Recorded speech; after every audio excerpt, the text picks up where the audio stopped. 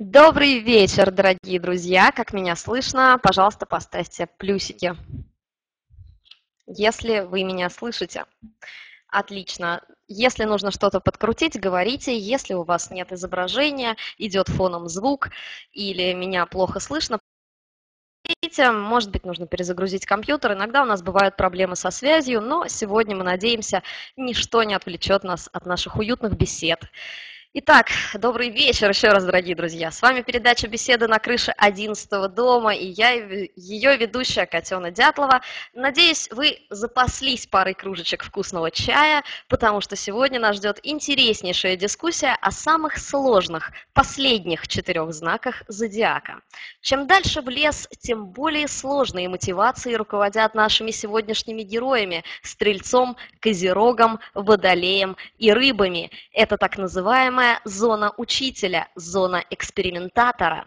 Новатор, он же ученик, то есть первые четыре знака, открыли нечто, попробовали на собственной шкуре, набрались опыта, собрали грабли. Работник, то есть последующие четыре знака, усовершенствовали открытие, применили опыт на практике, а учитель, то есть последние четыре знака зодиака, Э, довели его до идеала, так, чтобы этим механизмом мог воспользоваться не один человек, а все человечество. И сегодня мы постараемся заглянуть в самые потаенные уголки зодиака с помощью наших замечательных специалистов. Тамара Юдина была с нами и в прошлый раз, всем очень понравилось, поэтому мы с удовольствием пригласили Тамару снова. Это известный бизнес-астролог с огромным стажем, участница многих ТВ-программ, владелица популярного сайта, преподаватель и руководитель астрологической школы Юнона.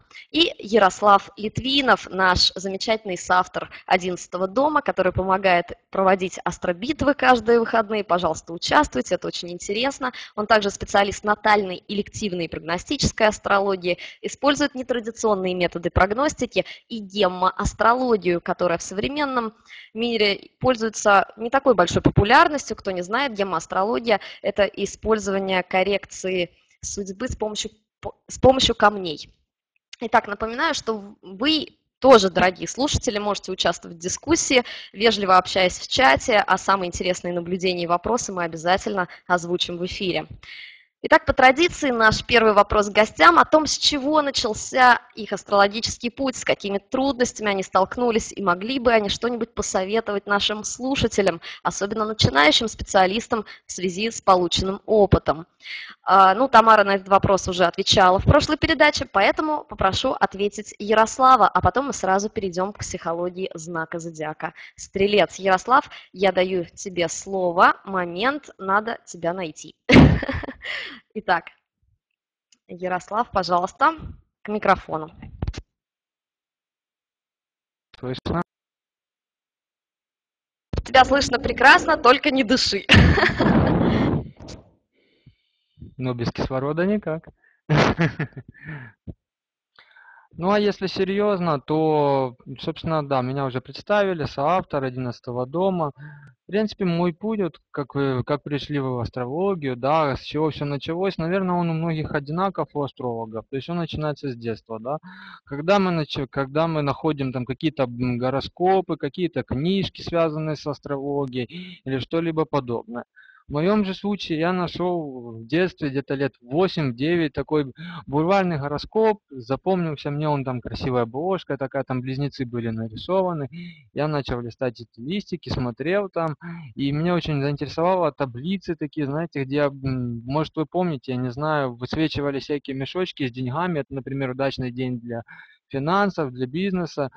Там, например, э, стрелка вверх – это карьерный рост и тому подобное. То есть именно тем э, было интересно, скажем так, вот этими всякими нюансами, моментами. И когда читал это ребенок, ему было любопытно, это интересно, он смотрел картинки, то есть ему это было все любопытно.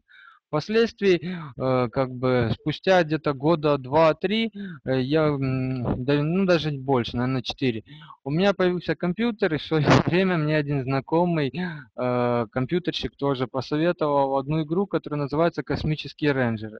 Ну, я не знаю, слышала аудитория об этом или нет, наши гости, э, но, в принципе, игра как раз такая чисто ураническая, астрологическая, там космические корабли, галактики, солнечные системы, пейзажи, планеты, фон красивый, то есть как раз все то, что связывает нас как астрологов, ну, с планетами, с такой космической тематикой, которая любопытна. Возможно, именно вот эти начальные такие толчки, которые выглядят в виде вот таких вот моментов, да, каких-то гороскопов книжных, каких-то игр, которые мы играли, или, например, у кого-то, может, в детстве они смотрели там на небо, на звездное и тому подобное, то в моем случае это произошло в виде книжки и в виде такой игры. После того, как э, Собственно, я поиграл в эту игру, прошло где-то года 3-4, может даже больше, я попал на первый курс института в высшее учебное заведение. Увы, увы, я как водолей, мне высшее учебное заведение было не очень по вкусу, это было по настоянию моих родителей. И, естественно, интерес особо к предметам я испытывал в высшем учебном заведении. И, соответственно, я решил продолжить эзотерический интерес к каким-либо наукам. То есть там хиромантия, нумерология и тому подобное. Но эти науки мне были слишком обобщенные, слишком распространенные, не в обиду другим, возможно, кто этим занимается, и, и почему-то у меня внимание прошло именно как раз на астрологию, которая э, меня заинтересовала своим обилием знаний, своим обилием информации, почему именно 12 знаков зодиака, почему все это расстроено, почему такая, ну, разносторонность, почему одни, допустим, такие, другие такие. То есть, по сути, все ведется с того, что именно вам интересно, именно психология, почему так ведут, почему не так. Ну, то есть, все вот эти вопросы, которые интересуют э, обычно людей более взрослого возраста, меня не заинтересовали лет 16, и как бы в этом возрасте я уже начал узнавать о мире астрологии более детально. То есть не просто бульварный гороскоп, а, допустим, натальная карта, аспекты, гороскопы, то есть более подробно вглубляться во все это. Естественно, все это было нелегко, потому что любому начинающему, как, как вы говорили, поделиться да, с теми начинающими, с которыми этим интересуются, выпадает просто огромнейший, огромнейший такой фонтан информации, самой разной разных школ, разных направлений, разных тех. И когда человек во всем этом новичок, и он в этом не разбирается, то попытка разобраться во всем этом зачастую приводит к полной каше и к тому, что человек не может понять этого. Ну, настолько большое количество информации. Естественно, естественно, лет 16 мне с этим было тяжело справляться, но тем не менее, все-таки в связи с, с показателями в моем гороскопе, более-менее э, мне легче структурировать информацию, чем, возможно, кому-либо другому, э, другими показателями. И э, это было успешно освоено мной. И в течение, наверное, двух-трех лет я пытался, скажем так, понять, изучить эту науку полноценно, понять аспекты, понять прогностические техники, всю эту тему, ну, начиная, естественно, с натальной астрологии. Честно скажу, это было нелегко, это очень сложно. Наверное, никто не скажет, что освоить астрологию это довольно просто. Тем более тем, кто является самоучкой. Ну, кстати, да, я сам являюсь самоучкой, никакого образования не заканчивал.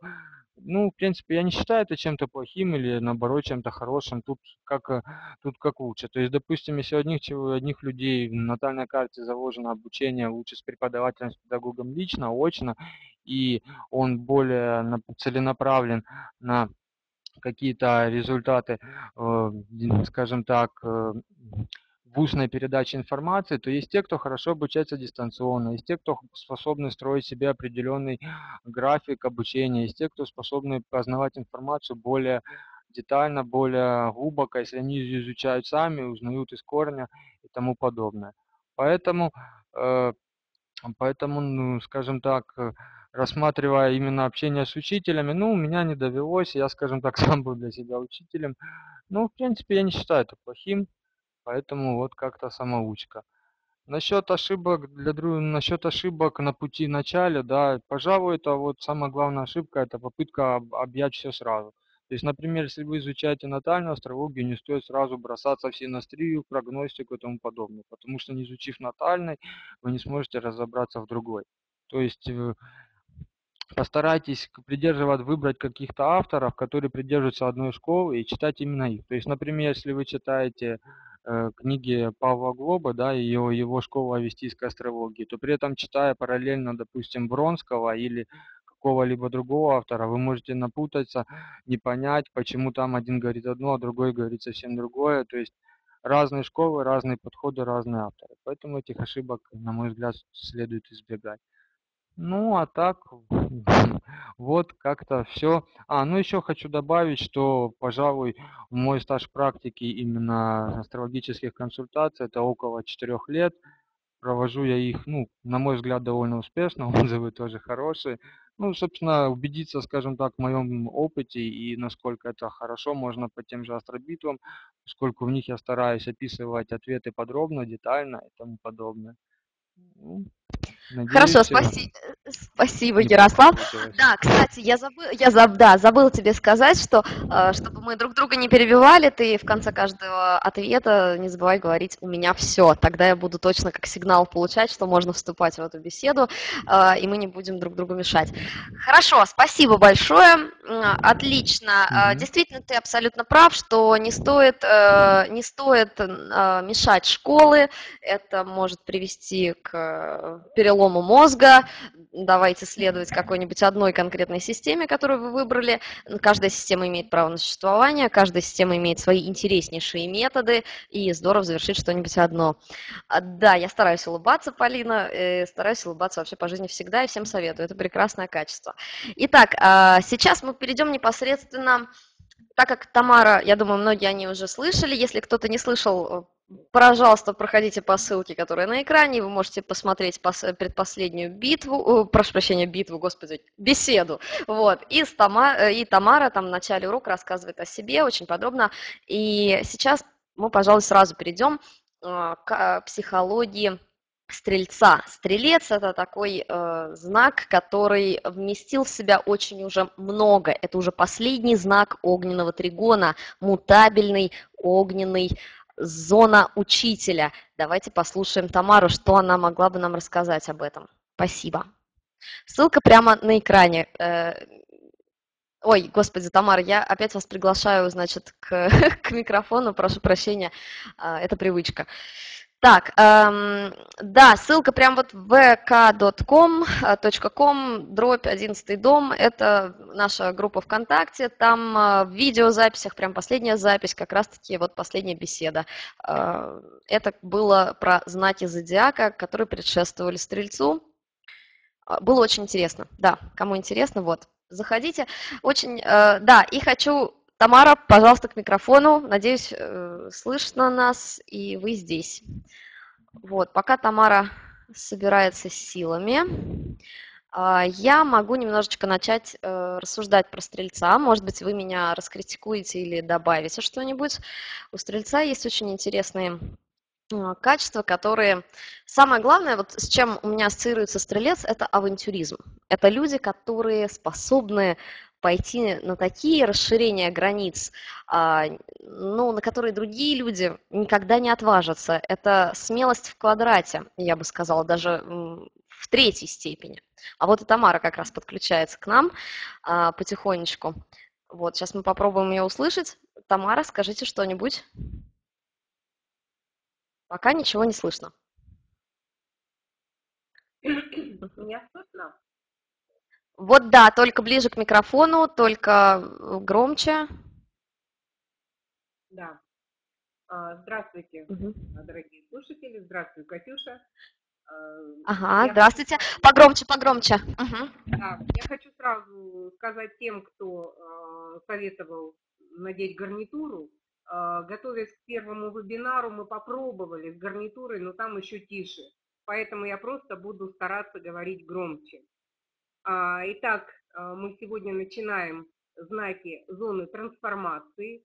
Это стрелец, козерог, водолей, рыбы. Они интересны тем, что а, они двойственны. То есть стрелец – это кентавр, это э, лошадь и человек. Козерог – это вообще чудище с головой козла, с лапами непонятно кого и с рыбьим хвостом. У водолея два кувшина, один с мертвой, второй с живой водой. Ну и знак рыбки – это две рыбы, одна плывет наверх, вторая вниз. А, стрелец – это один из э, шести мужских знаков. Им управляет водолей, как вы знаете, и он входит в четверку мутабельного креста, то есть дева, рыбки, близнецы и стрелец. А я хочу, как раз Катюша сказала, что это авантюристы, я как раз хочу начать с забавной истории, которая произошла у меня на родине, в городе Новосибирске, э, и она э, описана одним из моих коллег, астрологов. Э, ранним утром возле ЦУМа стояла грузовая машина, через борта которой свешивались ковры. Ну, вы помните, наверное, что советское время наличие ковров в семье это было как бы определенным признаком достатка. Э, свидетельствовала об успешности существования этой семьи. И толпа, окружавшая э, грузовик, буквально бушевала. По два ковра в одни руки не давать. В кузове сидела толстая тетка, крутила э, ручку кассового аппарата, злилась на, на напирающую толпу, что вы тут пальцами тычете, называете артикул, платите деньги идите на второй этаж. На, э, следствии Э, директор ЦУМа разводил руками и рассказывал. Ворвалась толпа э, после открытия магазина, выстроились вдоль лестницы, в руках у них чеки и спрашивают, где у вас тут такой артикул. Опросили около ста пострадавших. Кто-нибудь вообще запомнил номер автомобиля? А номер автомобиля никто не запомнил. Эта история, как я говорю, она э, на самом деле произошла, и она Э, представляет собой, собой типичную ситуацию стрельца. Задумана и осуществлена она была вне всякого сомнения неведомым Остапом Бендером, как и литературный прототип, обладающим очень сильным знаком стрельца. Стрелец открыт, доброжелателен, улыбчив, демократичен, а главное, он полон идей. Стрелец не станет, подобно льву, бороться за своих поклонников или, как Овен, за своих сторонников, стрелец будет вдохновлять вот это сколько угодно и кого угодно. Мутабельная стрельцовская гибкость э, огня – это э, внутренний покой проповедника, который э, увидел э, зевающего во время проповеди прихожанина и э, не разозлился, а подумал, ну что, значит, человек еще не созрел для того, чтобы понять и принять это вовсе не означает, что стрельцы не могут рассердиться. Могут, еще как. И э, если от короткого, как выстрел огня овна, можно укрыться, а, можно спрятаться за стеной от огнемета льва, то гнев стрельца, он подобен лесному пожару, от него нет спасения. И весь вопрос в том состоит, на что будет растрачен дарованный э, Богом поток космической благодати. А, у стрельца, как и у всех э, других знаков, есть э, уровни проработки. Первым уровнем, самым низким уровень э, духовного развития называется символическое название аферист. Вдохновенный, жизнерадостный бродяга, чьи радости удивительным образом складываются из горести других людей. Но он не приемлет никаких обязательств ни перед кем в принципе. Свобода его идеал причем на его свободу должны работать окружающие. Непостижимая обаятельность позволяет мгновенно завоевывать доверие, после чего жертва обдирается как липка. А, второй уровень – это камневоежор. Э, это э, денежный уровень. Социализация стрельца происходит э, при расширении культурного и словарного запаса. Камневоежор уже успел осознать свой талант в изготовлении быстрорастворимой лапши, он понял также, что и ушей вокруг великое множество, осталось только самое малое – сделать законным акт торжественного развешивания лапши на уши. А, третий уровень проработки э, стрельца – это лектор. А, к нему уже пришла духовность, пришло понимание, что не хлебом единым. И если он еще не позволяет себе, э, вернее, если он а, еще и э, позволяет себе торговать, то э, разве что книгами. Это святое дело. Но уровень знаний и культуры ведет его к другому ремеслу, вдохновлять людей и показывать им путь в будущее. Для этого необходимо просто изменить образ мыслей и жизни. Четвертый уровень э, – это проповедник. А здесь апостольская самоотверженность служение идеи, которую он воодушевлен сам и э, будет воодушевлять других, она достойна самого большого уважения. Таковым уважением он и пользуется у своей паствы, просветительством, которой занимается. Ни на единый миг э, не задумывается о себе, ни единой э, копеечки не возьмет себе. Каждое мгновение бытия должно быть подчинено просветлению душ и воцарению идей. А, если мы посмотрим стрельца ребенка, то врач может и не знать, что воплотился кентавр, но анатомию не обманешь. Тазобедренный сустав – это слабое место у знака. Стрельцы вообще дети беспроблемные. А, потому что верховный бог Олимпа Юпитер своих детей в обиду не дает. И качели просвистят мимо, и прохожий, подхватив оступившегося, подхватит оступившегося ребенка, и воспитательница в детском саду не обойдет вниманием стрельцы и везунчики по жизни. И считается, что э, до 12 лет вообще ребенок находится вот под такой глобальной защитой. То есть вы знаете, что как раз 12 лет – это цикл обращения Юпитера вокруг Солнца. Ну и поскольку они везунчики, отчасти э, поэтому они лучезарны, оптимистичны, и родителям э, необходимо поддерживать в ребенке стремление все знать, везде быть, во всем участвовать, а остальное приложится. Обязательно языки, изучение языков, танцы, в соответствии с индивидуальным темпераментом, от бальных танцев и английского языка до фламенко и испанского. По поводу воспитания детей говорят так, что ребенок не сосуд, который надо наполнить, а факел, который необходимо зажечь. Но в маленьком стрельце своего огня настолько много, что хватит поджечь море среднего размера. А вот наполнить знанием маленького кентавра совершенно необходимо. Образование во многом способно определить, чего в нем будет больше, профессора или пирата. У стрельцов есть трудности в школе. Это потому, что система образования у нас, э, в общем-то, неправильная. Она лишена индивидуальности. Всех строят в одну шеренгу, всех расчесывают под одну гребенку. А стрелец не согласен. Как это так? А, ему предстоит открывать мир, ходить нехоженными тропами, а кто способен а, открыть что-то новое, если его будут причесывать как всех? Лучший способ обучить стрельца – это глубокое погружение.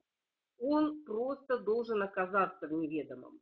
Все, что рассказывают о дальних странах, о путешествиях, о неведомых мирах, «Остров сокровищ» Стивенсона будет любимой книгой. А дальше Майн Рид, Рафаэль Сабатини с «Одиссеей капитана Блада». Есть еще затерянный мир Конан Дойля, потом путешествие на Контике Туров Кейрдала. И я думаю, что любимым э, ТВ-каналом станет Discovery. Мужчина-стрелец, ну, э, пожалуй, э, у российского читателя самый любимый стрелец – это сын турецко-подданного Остап Бендер, специалист по сравнительно честному отъему денег.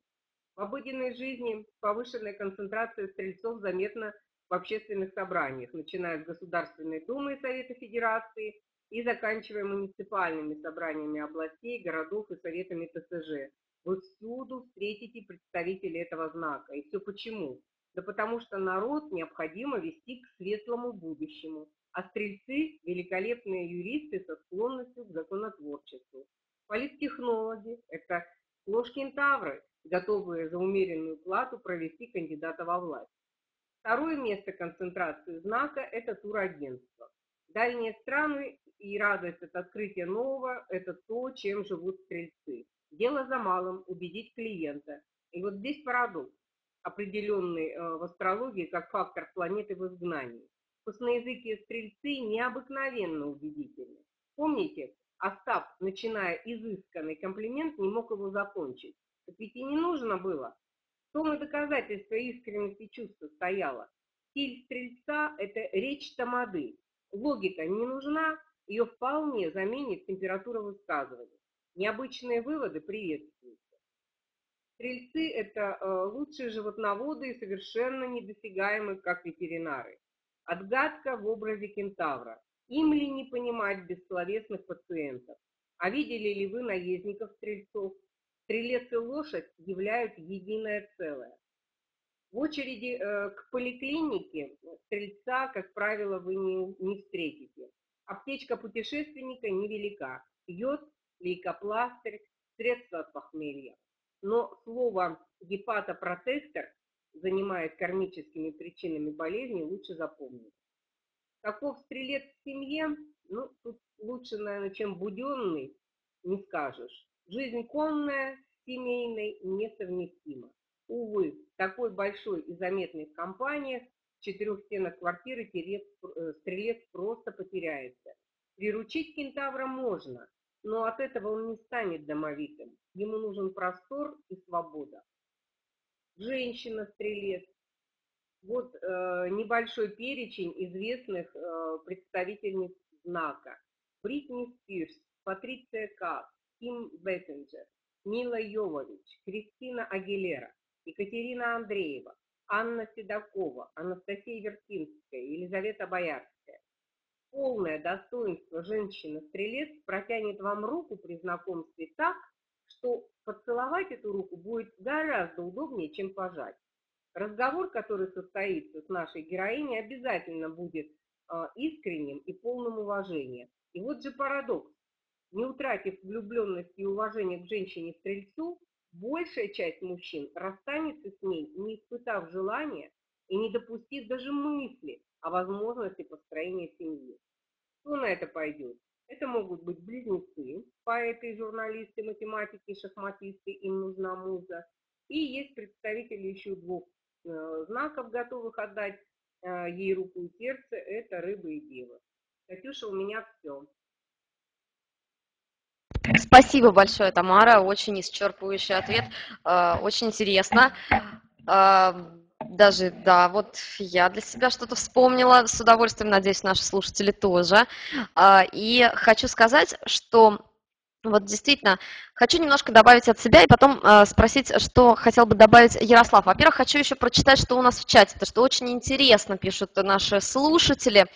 Вот, значит, наш замечательный э, участник э, с очень странным именем Шихлам Чехлоп, явно не лишенный юмора, говорит, а, что очень социальные люди. Действительно, стрелец один из социальнейших знаков, собственно, как его управитель Юпитер. Если Юпитер сильно связан со светилами, человек особенно квадратит, их чешет, как-то напряженными аспектами, человек будет стремиться в социум, он будет стремиться добиваться каких-то социальных вершин, а, ну, среди, соответственно, своих сотоварищей. А, и брать какие-то масштабы.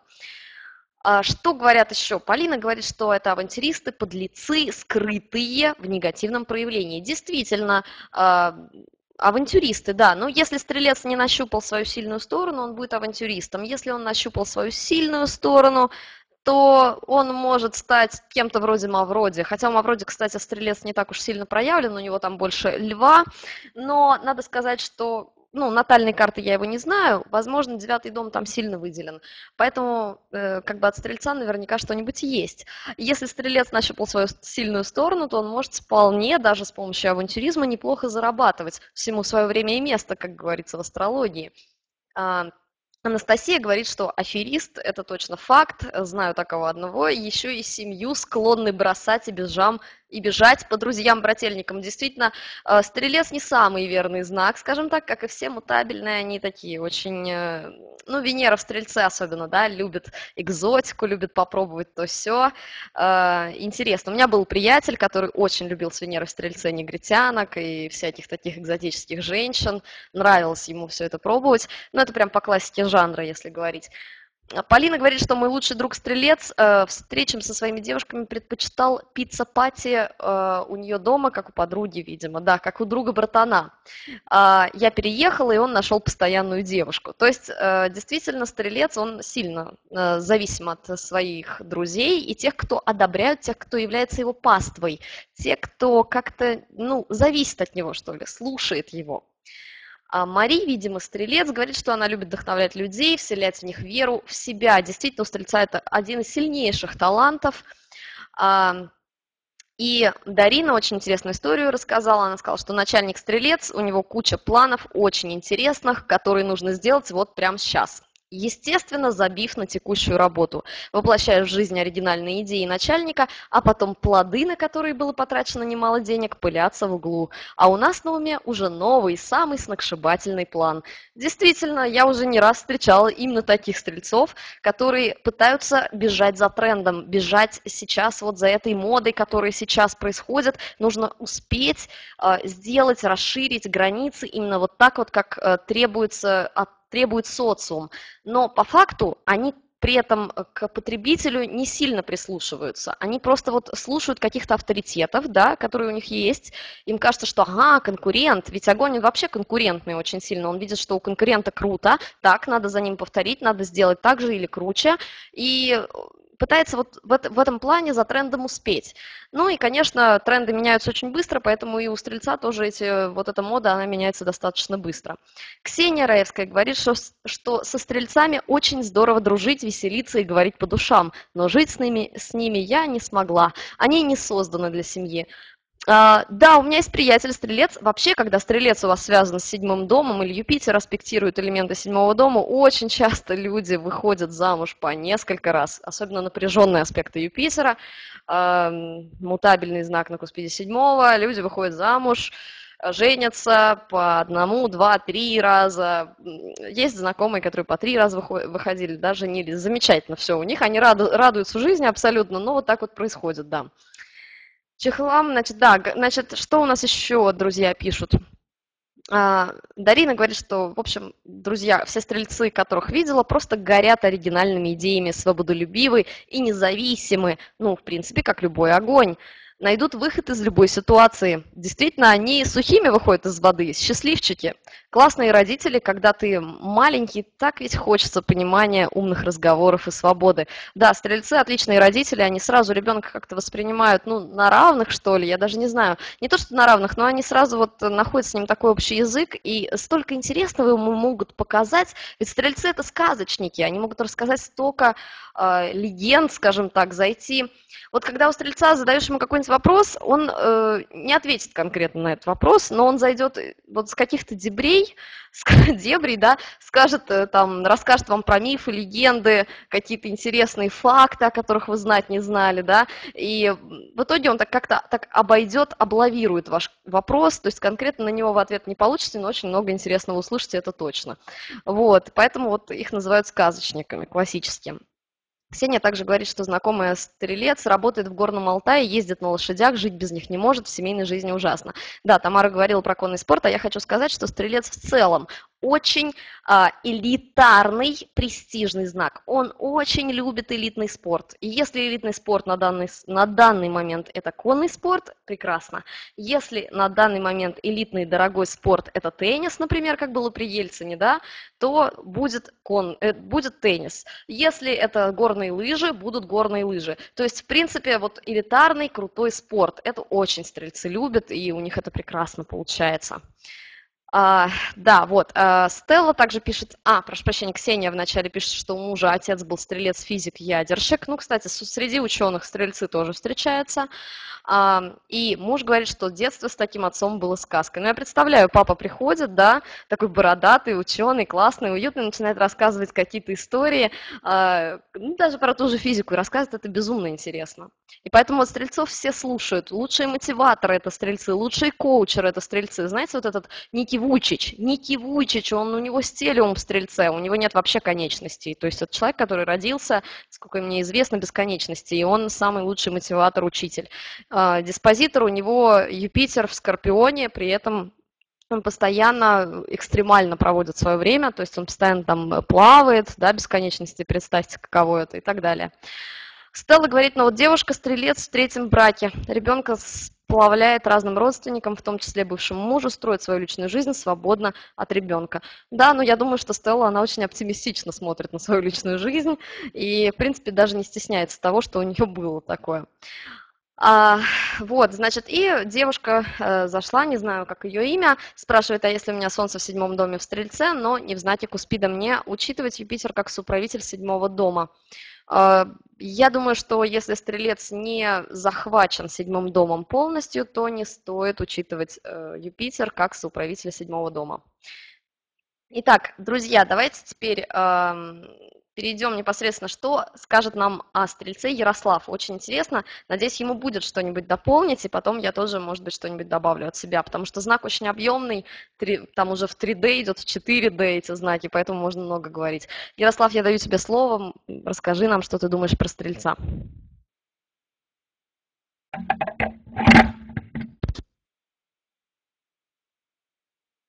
Честно говоря, выслушав ваши такие длительные беседы, да, особенно и говорить-то нечего. Вы очень много отметили, и Тамара, и ты, Катя. То есть, в принципе, единственное, что я, пожалуй, такого заметил и чего вы не обратили внимания, это, наверное, разве что идеализм.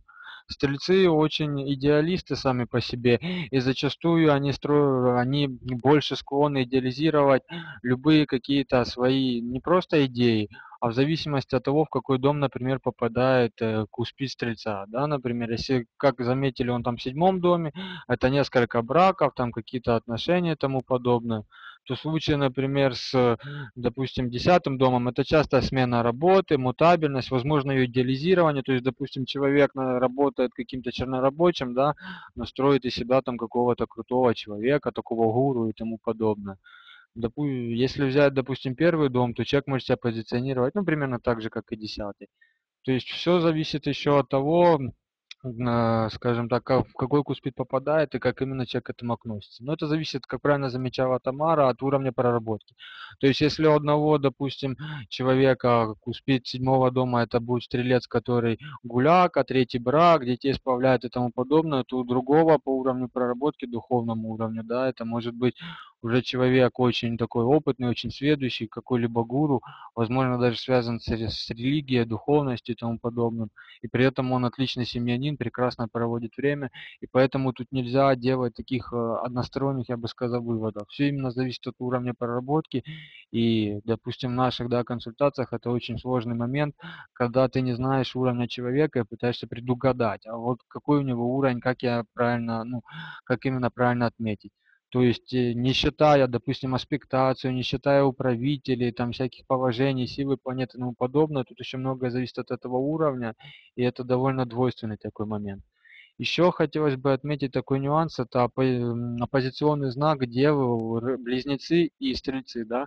Несмотря на то, что они позиционные, Стрельцы, как и их управитель Юпитер, они довольно поверхностные. То есть их знания, они могут много всего сразу знать, много всего обхватывать, но у них не хватает цели фиксированности. То есть если они мутабельны, то им не хватает чего-то одного, заострить свое внимание.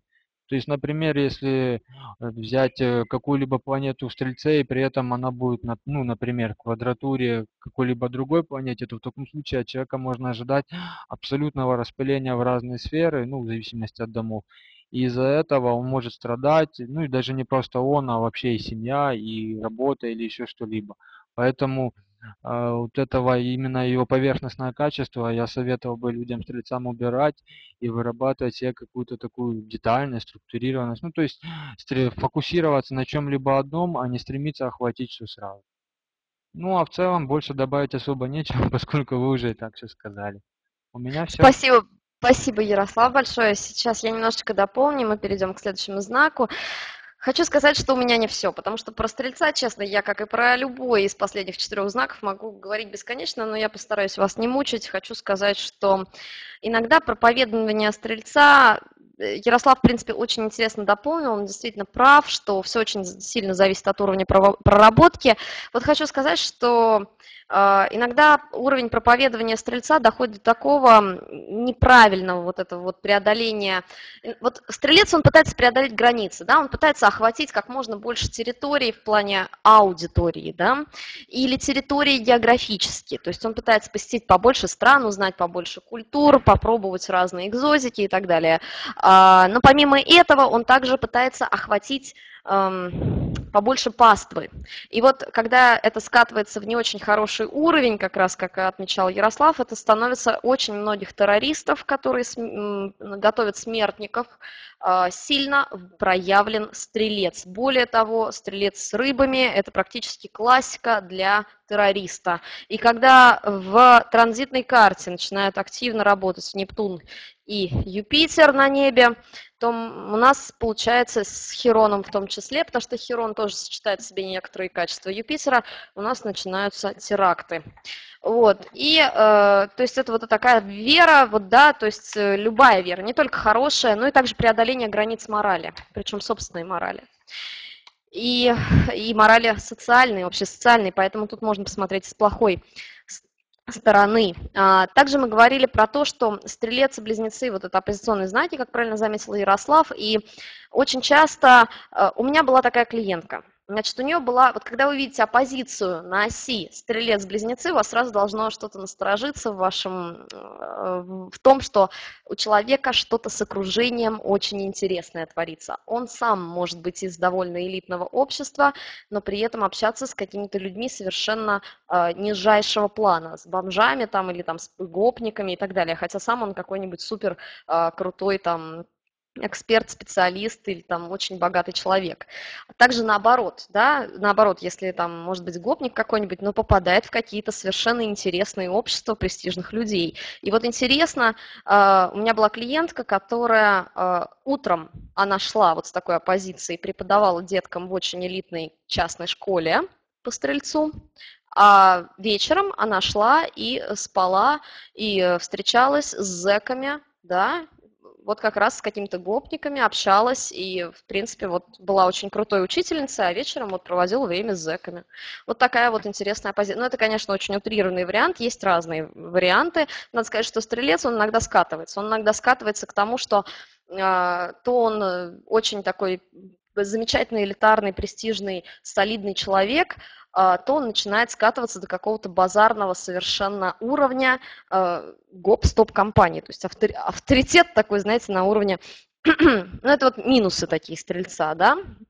То есть, а, ну, у Стрельца есть еще фильтр, очень сильный, потому что ведь сам Юпитер, управитель Стрельца, это фильтр нашей, нашей системы, он не допускает к Земле всякие, своей гравитации притягивает на себя всякие там астероиды, поэтому он является печенью в нашем организме, да, а вот помимо того, что он, как правильно говорила Тамара, он отвечает за тазобедренные кости, так он еще и за сам таз, он также отвечает за печень. И поэтому у нас, конечно, ну это как вот большой фильтр, и поэтому хороший проработанный стрелец никогда не допустит к себе ненужных людей. Он будет очень сильно фильтровать то, с чем он связывается и так далее. Да, бедра. Вот, что еще хочется сказать, что вот очень часто люди с сильным стрельцом, но со слабым солнцем, а, с сильным, с сильным Юпитером, но со слабым солнцем, они, э, у них такие же амбиции, как у сильного солнца, у сильного льва, например, да, но у сильного стрельца амбиции чужими руками. Я хочу добиться того, что человек с сильным солнцем, то есть сильное солнце, оно хочет само добиться. У него вот такие амбиции, как у автора. Я хочу быть автором своих достижений, когда у сильного стрельца. И я хочу, чтобы мне помогли вот эти вот эти вот эти вот люди, вот эти связи, чтобы я стал вот э, супер популярным там специалистом, экспертом. Вот это тема мутабельности, когда мы опираемся на каких-то других людей, обстоятельств, ждем удачи и прочих каких-то вещей. Также, да, про чувство юмора очень правильно заметили друзья.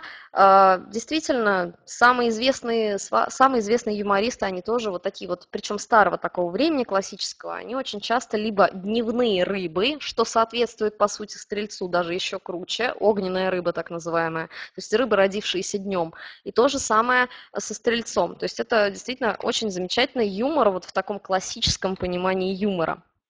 Ну и, конечно же, да, действительно, на, тему того, вот кто-то спро- сейчас э, вспомню, кто-то спросил про то, что что не нравится стрельцу. Я могу сказать, у меня была история, у меня был приятель, который э, стрелец, приятель моего отца, э, мужчина в студенческие годы был очень такой активный парень, он постоянно развивался, он 10 языков учил параллельно, то есть у него было 100-500 амбиций, но у него и солнце было сильное, он такой был и по стрельцу, и по, и по льву, там сильный все, огонь такой сильный, и, э, и там, и тут все пытался успеть. И в какой-то момент э, он, значит, э, женился на однокурснице. У них была любовь, все прекрасно, она родила дочь, и когда э, прошло какое-то время, вот они закончили институт, и он понял, что он-то уже далеко ушел, он очень высоко поднялся, он открыл свою компанию, он выучил 10 языков, он ездит по странам, он там узнает людей. А эта девушка, с которой он вышел замуж, она толстеет, э, значит, нянчит ребенка, никак не развивается, абсолютный ноль, и ничего нового он от нее узнать не может. Вот это, что не нравится э, стрельцу, ему не нравится то, что человек никак не развивается рядом с ним, и тогда он может вполне э, забросить этого человека. То есть отказаться от него. И действительно, этот э, приятель наш, он развелся с ней. К сожалению, девушка после этого умерла, можно сказать, даже от тоски в какой-то степени. Ну, у нее рак печени как раз начался. Э, я не помню натальную карту, честно, но там была вот такая вот суть. И э, он встретил девушку, которая в свои, там, не знаю, 22 года защитила там две диссертации, э, тоже про проехала полмира и так далее. То есть, ну, стрельцу нужно соответствовать. Он, э, бывает, конечно, стрельцы не очень проработанные, которые подбирают непонятно что, да, и пытаются из этого сделать конфетку. Такое тоже бывает. Э, надо сказать, что если у вас Меркурий в стрельце, э, если вы там, скажем, молодая девушка, да, и у вас есть амбиции хорошие, я очень рекомендую идти заниматься, прям прорабатывать свой этот Меркурий в плане того, что идти заниматься там коучинг. Я знаю девочек, которые 95-го года рождения, конечно, это противоречит всем там нормам Сатурна, да, и законам, и правилам, и набору опыта, но они в 95-м году уже, э, значит, консультируют, они коучеры, очень популярные, на которых идут, их слушают, за ними толпа, прется, а причем они могут даже лапшу на уши вешать. И люди с удовольствием интересуются тем, что они говорят, пишут и так далее. Вот это вот сила стрельца. Если ее осознать, а, можно очень даже удачно в своих интересах ей пользоваться. Вот, а еще прочитаю то, что нам пишут а, друзья.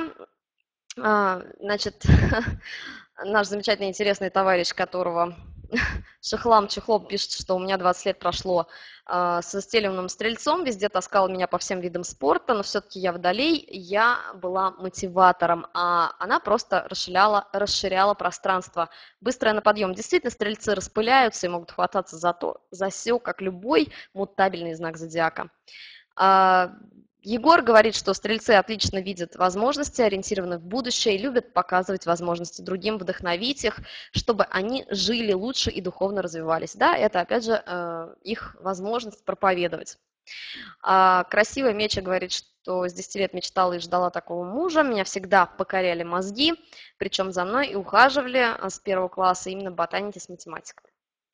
Вот так вот. Интересно. Ну что ж, а, Мария говорит, что училась в универе на менеджера, на самой престижной специальности, и сейчас приходится работать бухгалтером и общаться с алкашами. Но это все можно исправить. Действительно, Мария, если вы стрелец, а, обязательно, обязательно фильтруйте ваше общество и старайтесь идти вверх. А, так что, в принципе, Ксения говорит, что у меня тоже очень близкая подруга долго жила со стрельцом, тоже наскучила ему, и он ушел. Но еще год оплачивал ей съемную в квартиру в приличном районе Москвы. Это правда, Ксения, стрельцы очень щедрые, хороший там проработанный стрелец будет, в принципе, может содержать хоть 150 своих жен и быть очень даже, э, ну, как сказать, э, щедрым человеком по отношению к своим девушкам. Итак, давайте теперь перейдем к следующему знаку зодиака. На этот раз я предоставлю первое слово Ярославу. А, мы переходим к Козерогу. Очень интересный знак. Для меня, честно скажу, хотя я стелиумный Козерог, для меня до последнего, пока я вот начинала заниматься астрологией 6 лет назад, а, это был самый непонятный знак зодиака всегда. И ну, чем старше я становилась, чем больше я занималась, тем лучше у меня с ним получалось. Так, да, простите, что мы иногда затягиваем, но хочется, хочется объять необъятное, как всегда, особенно с последними четырьмя знаками зодиака. Поехали. Ярослав, к микрофону.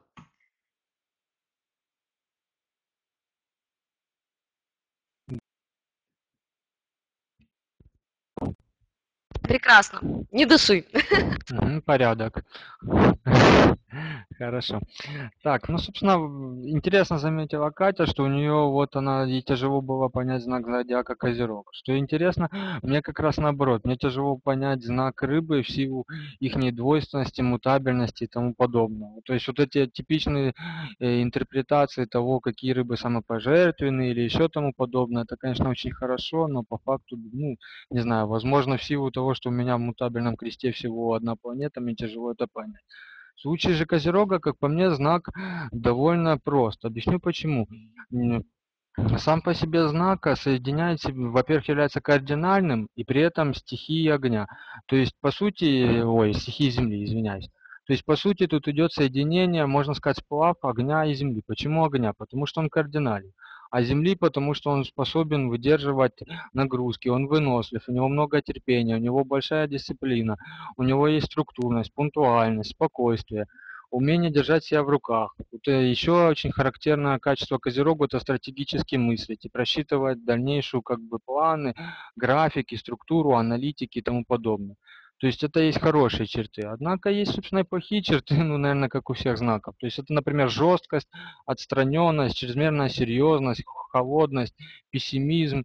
Но неудивительно, если учесть, что Козерогом управляет Сатурн, который, собственно, за все это отвечает.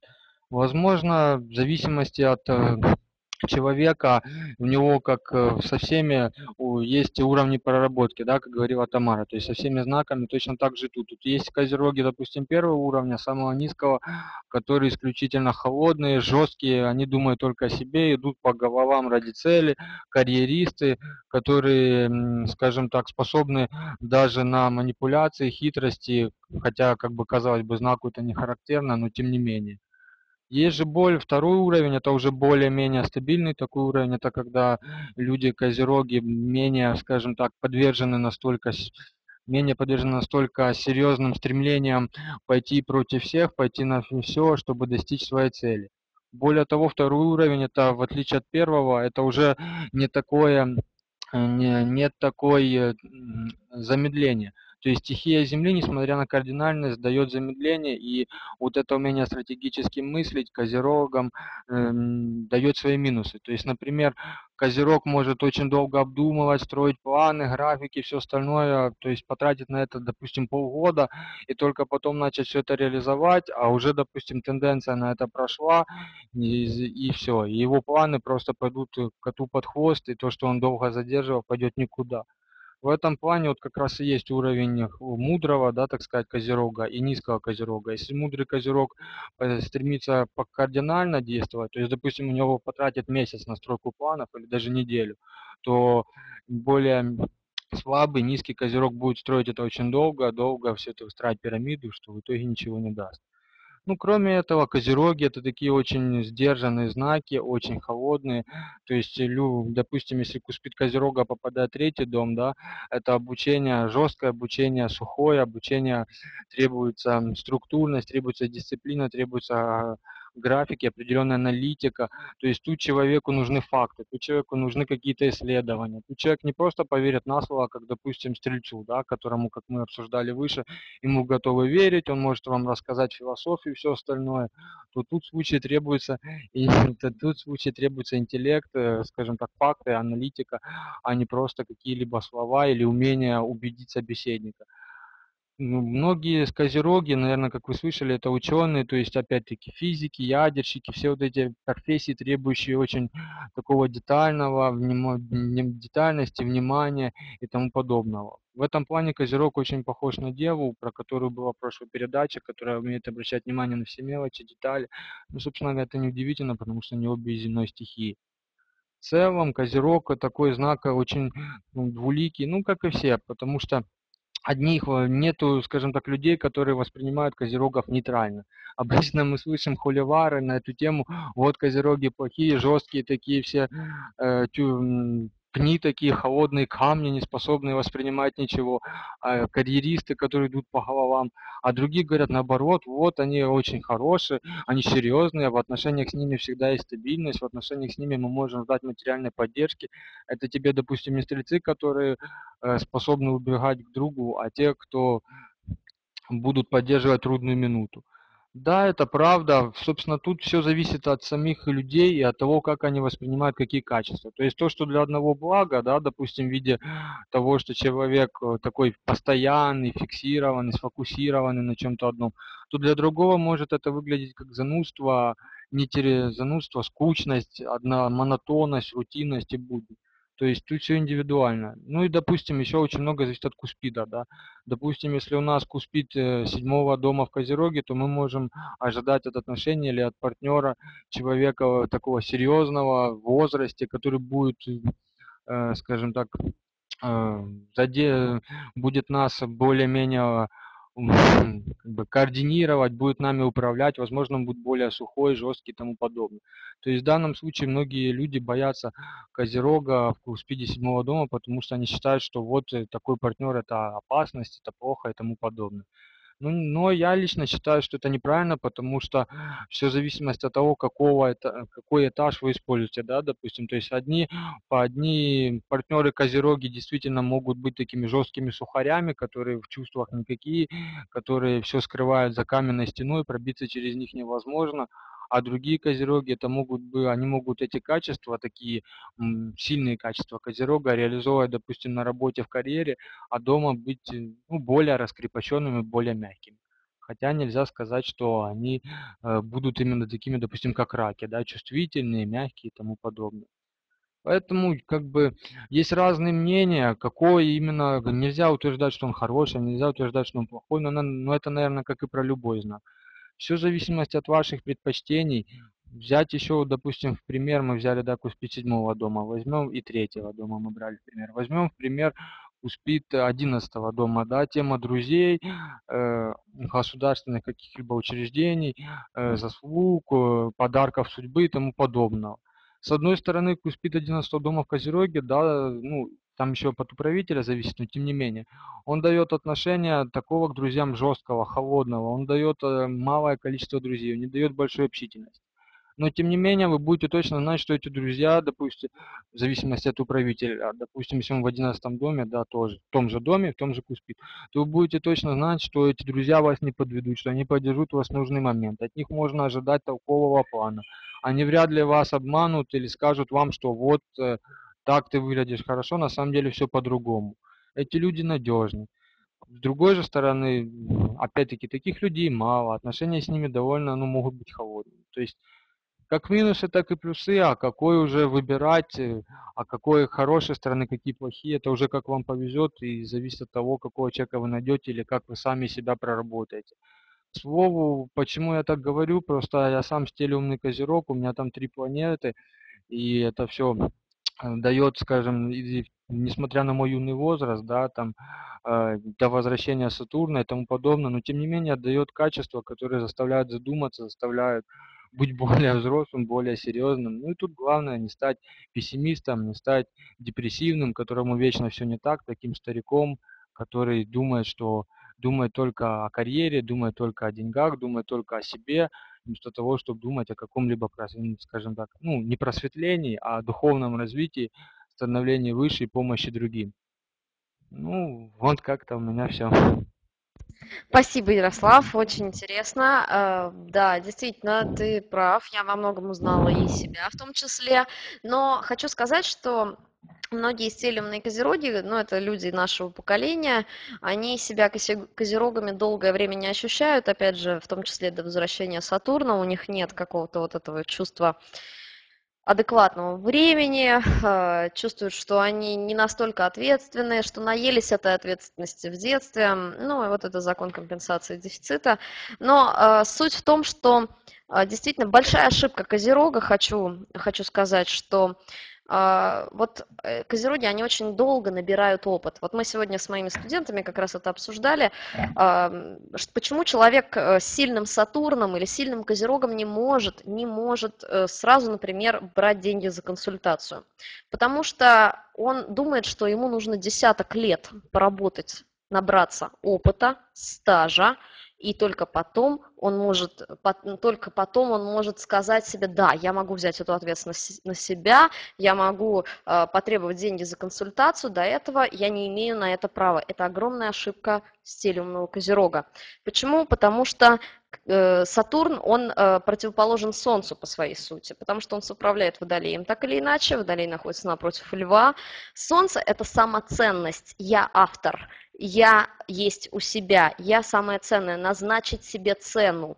Вот это очень важно. Поэтому э, Сатурн, он ограничивает вот эту нашу свободу выбора, да, и так далее. Время – это самое сильное ограничение человека, самая э, сильная граница, Сатурн граница Септенера.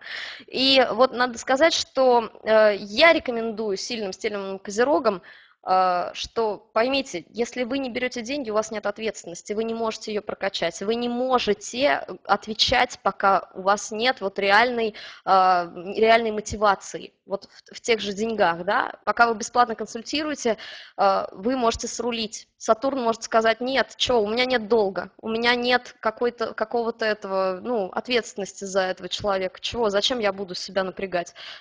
Пошло оно нафиг. Как только вы берете деньги, как только вы начинаете брать деньги, Сатурн вас не отпустит. Он заставит вас качественно, профессионально сделать работу, потому что э, это действительно серьезная ответственность. Поэтому, э, да, сатурнианцы, пожалуйста, э, не, не тушуйтесь, так сказать. А, кстати, у кого Сатурн да, сильный на возвращении, обычно он требует очень серьезных свершений. Там, если Сатурн в третьем написать книгу, если Сатурн там, в пятом родить детей, если в седьмом выйти замуж, ну и так далее. Поэтому это, э, это серьезные сатурнианские ответственные вещи. В восьмом, ну, в одиннадцатом, наверное, я, я думаю, что в одиннадцатом доме он требует э, как-то на коллектив э, повлиять, то есть социальную значимость на себя взять, то есть, может быть, взять ответственность за целый коллектив. В двенадцатом, я думаю, что он э, требует от человека самоосознанности, как-то умения ограничить себя. А в восьмом требует от человека, чтобы Э, человек э, научился справляться с кризисами самостоятельно, например. То есть управлять э, ситуациями дедлайна и давления, скажем так. В четвертом это опять же тема семьи. В десятом стать управленцем. Ну, то есть вот такие вот какие-то моменты, да, вы можете уже даже сами. Мы, кстати, на следующей передаче мы обязательно будем говорить про дома, про этажи домов. Вот это будет интересно и рекомендую вам участвовать. Тамара, прошу вас к микрофону и рассказать нам, что вы думаете про Козерога. Ну, э, для меня эта тема тоже очень э, душещипательная, потому что э, хоть я и не стелиумный козерог, но Сатурн у меня в козероге э, в соединении с асцендентом со стороны первого дома. Так что все это я э, пропускала всю тему Сатурна, всю тему Козерога, в общем-то, всю жизнь пропускаю через себя. Итак, Козерог. Большое дело в одиночку не сделаешь, и для этого необходимо организовывать людей, ставить им цель, и именно эта э, задача определена для Козерога. Зрелость, мудренность, дальновидность его так э, велики, что кажется, будто с самого детства он был взрослым. И это действительно так, а, потому что чувство ответственности и, долга у козерожка а, врожденные. А, задачи козерога очень сложны, и талантов ему дано достаточно много, таких, за которые у других знаков идет битва. Это системность ума, дисциплина, выдержка, терпение, умеренность, Работника лучше Козерога э, навряд ли можно найти, потому что он дисциплинирован, строго одет, никаких желаний, кроме работы. Все изучит, как всем на «вы», требователен, собран, памятлив, идеальный подчиненный, безотказен. Идеальный начальник, он всегда найдет и место, и дело. Козерог, э, как мы говорили уже про э, то, что знаки, расположенные напротив друг друга, а, определенным образом перекликаются, а, Козерог, как и его вечный оппонент рак, он является манипулятором. Ну а как же без этого можно грамотно управлять людьми? Только зная их уязвимые места и вовремя нажимая на эти болевые точки. Управляет знаком планета кармы, Сатурн, и э, именно он делает э, Козерога дисциплинированным и аскетичным для чего время от времени подбрасывает на его пути бревна и камни. а, спелеологи, альпинисты, геологи непременно имеют в своем гороскопе сильного козерога.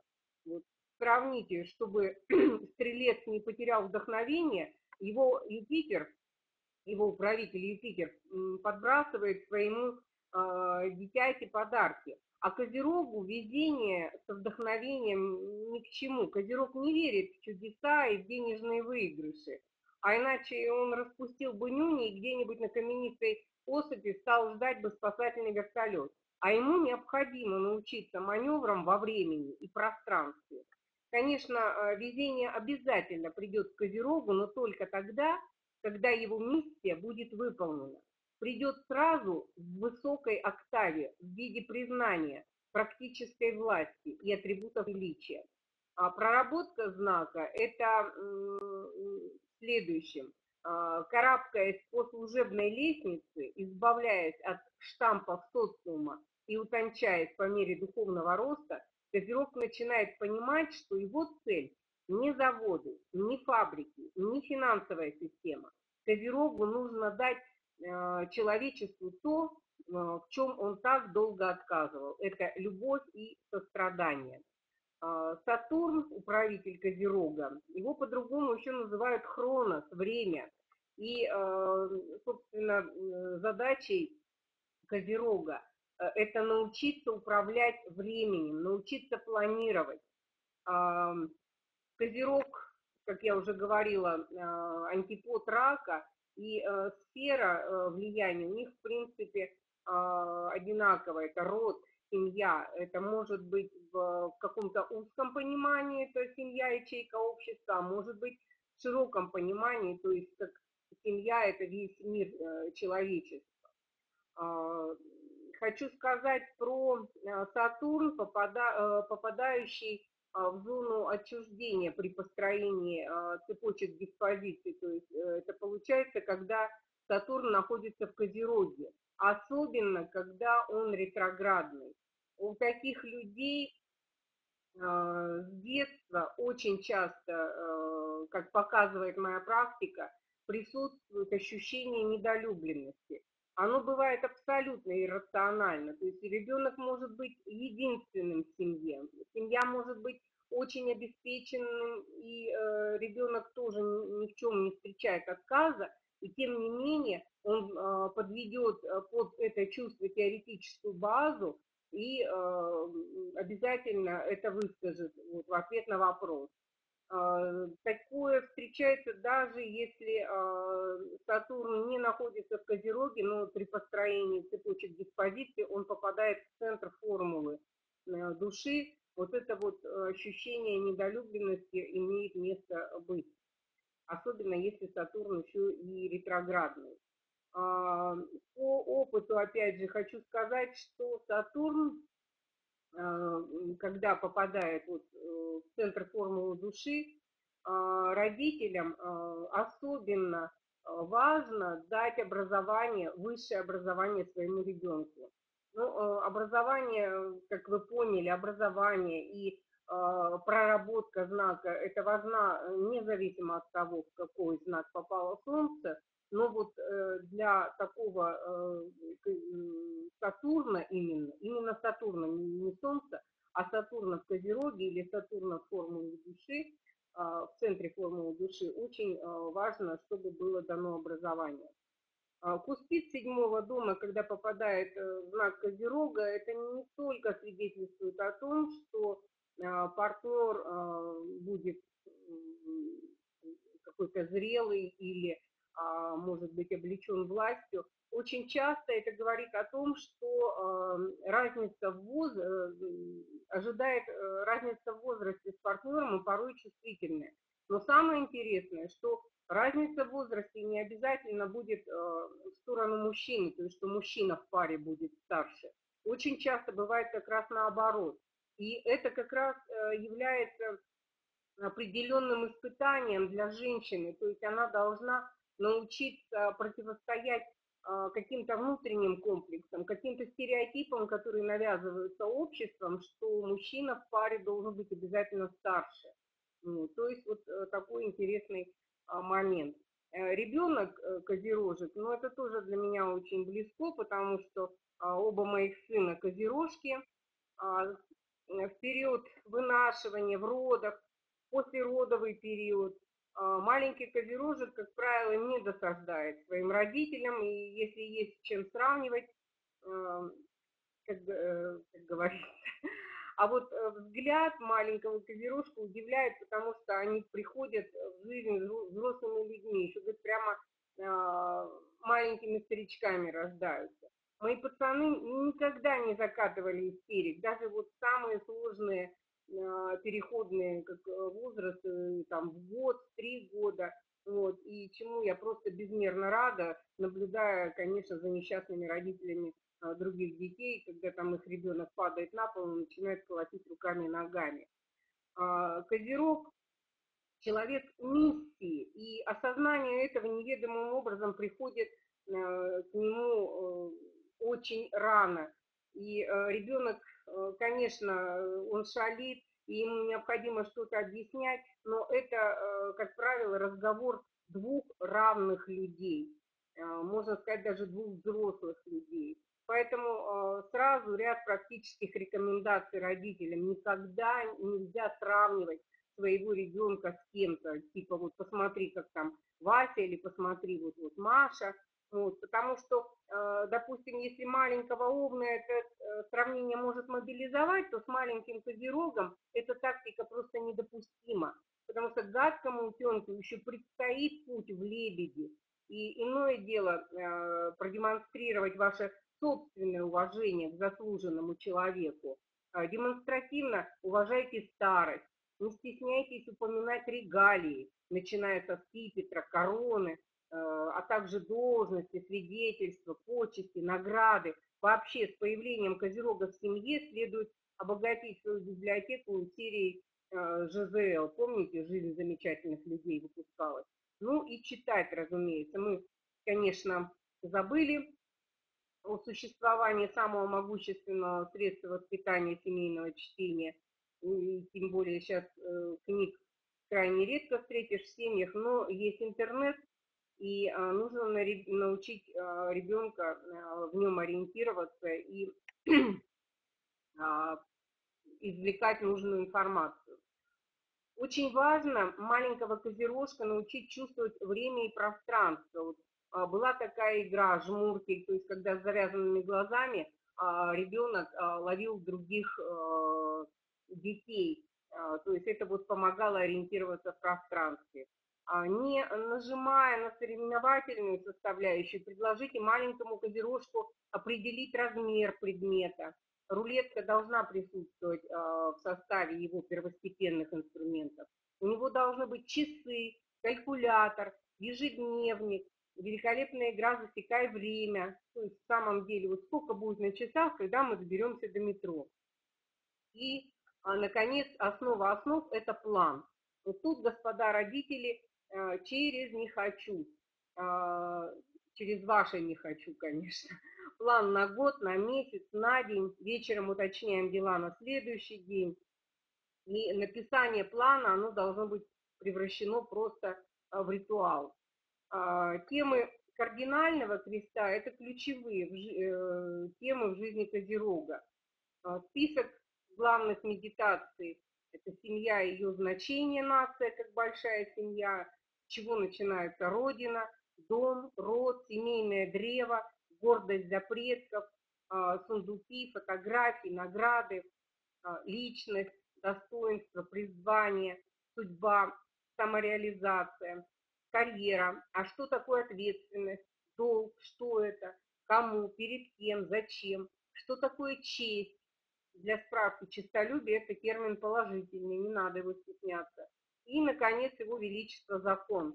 Что есть закон, откуда он берется, кто возглавляет общественный, э, возглашает, вернее, общественный договор, и что такое нравственность. А, Вспомним Канта. Две вещи наполняют душу благоговением. Звездное небо надо мной и нравственный закон во мне. Вот откуда в каждом из нас твердое понимание морали. Как раз э, этим ведает Козерог. И, наконец, э, коль у нас столь назидательный разговор получается, следует помнить о том, что у маленького козерога наиболее уязвим скелет. А, зоной особого внимания должны быть зубы, локти и колени. А, ни малейшего пренебрежения к травмам, никакого до свадьбы доживет, реагировать нужно незамедлительно. А, Мужчина-козерог. Иногда может возникать ощущение, что природа сэкономила, отпуская материалы на строительство козерога. Характером скромен, волосом не богат, а уж что касательно голоса, тут и вовсе порой приходится прислушиваться. Колени торчат, локти выпирают, про зубы вообще промолчу. Вот. Но э, у козерогов э, зато практически не бывает лысины, то есть сколько волос было в юности, столько и в старости остается. Возраст не портит козерогов, это давно замечено. Что колени досаждают, так еще э, в самом образе знака присутствует у стрельца тазобедренный сустав, у рыб ступни, у козерога колени. Знак козерог ответственен за скелет, у козерогов внутренний строй, как в алмазе, каждый атом на своем месте, отсюда и неимоверная стойкость и сила решений козерогов. В этом причина непостижимой ясности и целостности ума. И в отношении ума прекрасный пример – это Исаак Ньютон. А если говорить о системе в литературе, то имена Джона Толкина, Айзека Азимова могут сказать очень многое. Оба они создали мировоззрение, за их произведениями целые миры со своей логикой, с законами.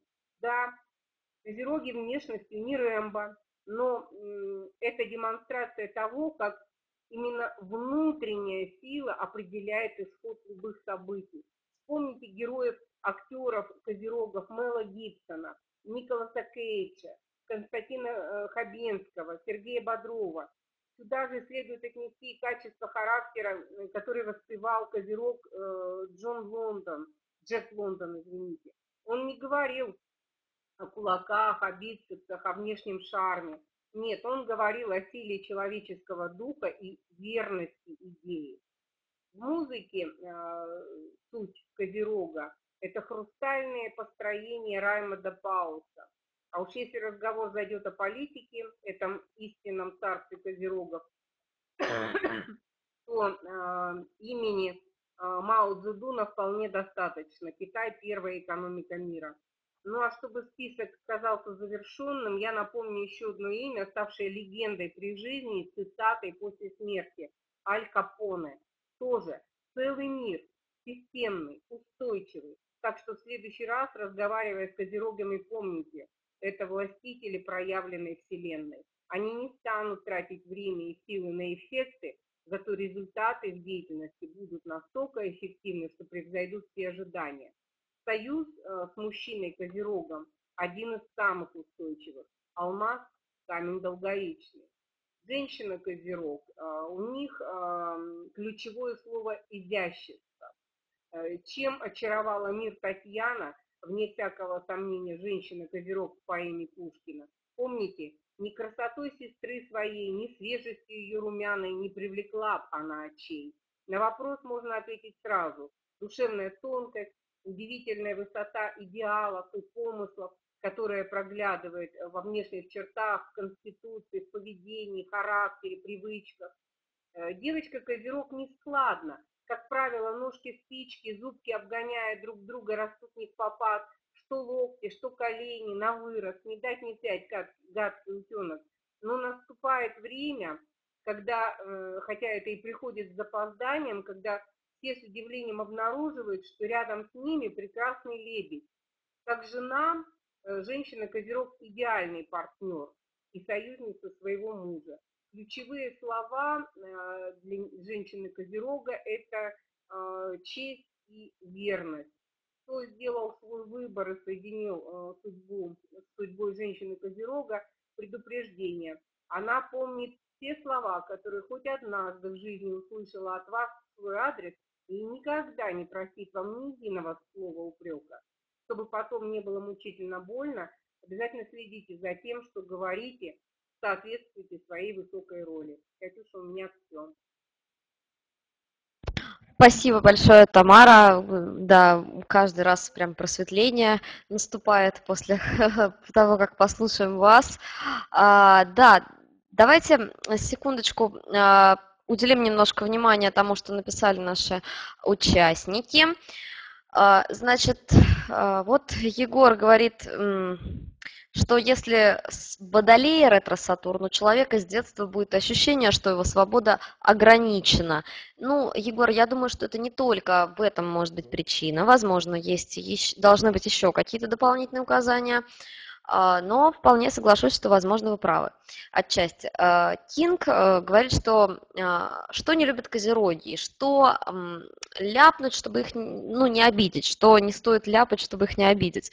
Знаете, я думаю, что козерог не любит, когда вы разглагольствуете не по делу, когда много пишете, достаете его со всякими ненужными вещами, которые совершенно не относятся к тому, ну, конкретике. С Козерогом надо разговаривать и общаться конкретно.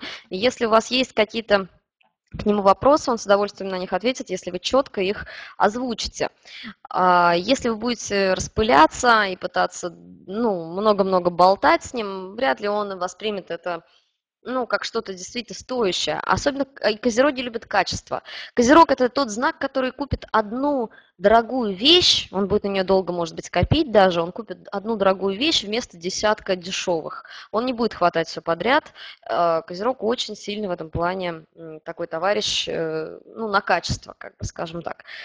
Вот. А, Полина говорит со стелем в Козероге, что мама говорила, что я была идеальным ребенком. Я хочу подтвердить, Полина тоже со стелем в Козероге, как и многие мои ровесники, в принципе, ну, наше поколение таково, что у нас там Сатурн, Уран попал, э, Нептун и еще какие-то планеты могли туда забежать параллельно. Поэтому конечно, да, у меня мама тоже говорила, что я очень была тихим, спокойным ребенком. И Тамара как раз рассказывала, что действительно ее дети тоже никогда не устраивали истерик, были очень адекватные. А, Козерогов очень э, легко и просто воспитать действительно в аскетичной такой строгой, хорошей манере с уважением к старшим. Это правда работает. А шуток, да, не понимают, потому что не понимают, зачем, зачем, в принципе, шутить, если можно поговорить по делу, опять же, Кинг. А, Даша говорит, что у подруги сын Козерог, взгляд серьезнейший у малыша. А, значит, а, у Ксения говорит, что у моего ребенка асцендент в Козероге, ему 9 месяцев, ощущение, что взрослый в детском теле. Это очень часто встречается. Действительно так, асцендентные Козероги, они с годами выглядят только лучше да, э, более приятно, интересно. Вообще асцендентных козерогов очень часто беспокоит, что они выглядят, ну, а, скажем, несолидно. То есть иногда асцендентные козероги слишком молодо выглядят, бывает такое, ну, у меня есть такие экземпляры, и они переживают, что я недостаточно солиден, недостаточно взросло выгляжу для других людей, и поэтому они там, например, если мужчина отращ... могут отрастить бороду, особенно если Марс в первом доме, женщины будут одеваться более строго и солидно, чтобы стараться выглядеть более презентабельно. Вот это тоже тема Козерога. А, Катя говорит, что умение добиваться целей у них, конечно, по поучиться стоит. Причем способы самые разные, свое возьмут. Не всегда это размеренный план на 10 лет, могут так быстро все повернуть, что и не заметишь. Действительно, ведь это кардинальный знак. Они могут долго-долго готовиться к какой-то цели, но достаточно быстро преодолеть этот промежуток. Так что если вы еще не начали писать книгу с Сатурном в третьем доме, вы можете начать до 30 лет за хотя бы за полгода, и вы ее напишете. Главное поставить себе цель. Дарина говорит, что, кстати, всегда удивлял друг Козерог, как трепетно он относится к бабушкам и дедушкам, в то время как я в них видела ворчащих недовольных старушек, он к ним относился весьма почтительно. А, кстати, мне кажется, что во многом козероги себя начинают чувствовать после возвращения Сатурна. Это действительно так. Подруга Козерог и друг Козерог оба впустую тратят мере, у, у, время, увы, алкоголь в жизни и тусовки, у отчима также. А после 40 внезапно карьера ползет вверх. Стал начальником цеха известнейшего в Питере завода. Да, для Козерога это обычная ситуация, когда стеленный Козерог, они очень довольно поздно реализуются. Но, знаете, я знаю даже тех же топ-моделей, которые в 60 стали топ-моделями, моделями. Ну, это я беру самую такую молодящуюся профессию, да, и действительно э, сильные козероги, они вот э, в более позднем, позднем возрасте имеют свои огромные плюсы. А, что еще, друзья, нам говорят? А, вот Егор спрашивает, хотел спросить, а когда рассчитываем стихии в гороскопе, учитываем ли куспиды домов в знаках или планеты в домах, особенно планеты в домах?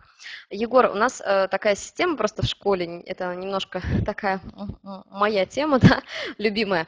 Вот, хочу сказать, что мы используем просто 10 планет, как в Z расчет. Э, и если у вас какая-то стихия отсутствует вообще, то есть там 0, как пишет тот же Z по статистике, там нет вообще планет 10, да, наших, которые мы используем, то вы можете использовать куспиды, чтобы компенсировать стихию недостающую, вы можете использовать куспиды домов вот в этом в стихии недостающей, и воссоздавать эти обстоятельства. Например, у меня подруга, у которой вообще нет огня. У нее куспид пятого дома Вовне. Она, чтобы почувствовать себя более уверенно, активно и так жизнерадостно, то есть вот эти темы огня, да, она спит с молодыми любовниками и подзаряжается от них огнем, скажем так. Вот так она воссоздает по куспиду пятого дома. А, также у нее дочка огненного знака зодиака. Мария говорит, что моя начальница Козерог говорит, что ты читай лучше, а мне проще спросить, если я чего-то не знаю, так же быстрее. Действительно, Козероги очень часто считают стелиумные Козероги. У них ощущение, что они уже много знают. Они как будто родились э, с этим знанием, ощущением, что слишком они даже с трудом вот идут куда-то учиться к наставникам, потому что вот это ощущение их не покидает, меньше читают, чем другие люди, кстати, стелиумные козероги, потому что вот у них вот есть вот это вот чувство, что ну, я и так вроде это уже знаю, но что нового я там подчерпну. Но по факту все-таки я рекомендую все равно. Как только чего-то прочтут, у них сразу куча-куча интересных, э, интересной информации идет, какие-то инсайты. Так, и также конспектация для козерогов очень важна, как для любого земного знака. Ксения говорит, что у нее в юности была подруга козерог. Один день разницы между нами. Идем в магазин за косметикой, я куплю одну дорогую помаду, а она 10 дешевых. Вот это какой-то странный козерог, да? Ну, то есть она так пыталась, наверное, экономить. А, Настя говорит, что нарушение корпоративной этики не любит. Это действительно субординация важна козерогам не меньше, чем девам. Это правда. А, да, и вот э, Мари жалуется, что начальница у нее не самый лучший вот в плане козерог, не самая лучшая начальница, хотя козерог, козероги вообще хорошие управленцы, а, но вот так вот. Интересно, что козероги э, хочу от себя добавить, что э, вот я помню эту супер тему на Акулусе, ребят, найдите, это серьезно очень крутая тема на Акулусе, кто читает этот форум, для меня этот форум стал, стал альма-матер, э, это действительно были мои первые учителя, те, кто там, вот как раз там с Тамарой мы познакомились именно там, читал все ее посты, э, не только ее, там очень много интересных и замечательных астрологов, профессиональных, читайте этот форум. Я хочу что, сказать, что там была вот эта супер тема, которую Тамара озвучила, э, что Сатурн Сатурн в центре цепочки диспозиций, Сатурн в центре формулы души, если говорить по Острогору. Так вот, э, это можно легко посмотреть в Зете, если он у вас скачан, просто посмотрите, включите цепочку диспозиций, и то, на что будут выходить все ваши планеты, это действительно вот и есть Сатурн.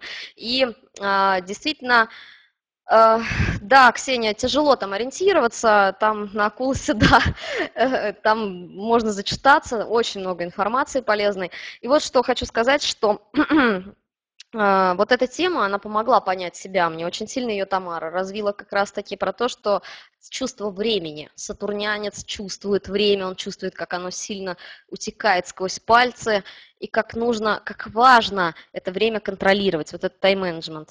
Так что да, а, ребята, из всех мастодонтов астрологии это сам, самый-самый лучший форум, надо сказать, и на него стоит ориентироваться по качеству и по всем остальным параметрам.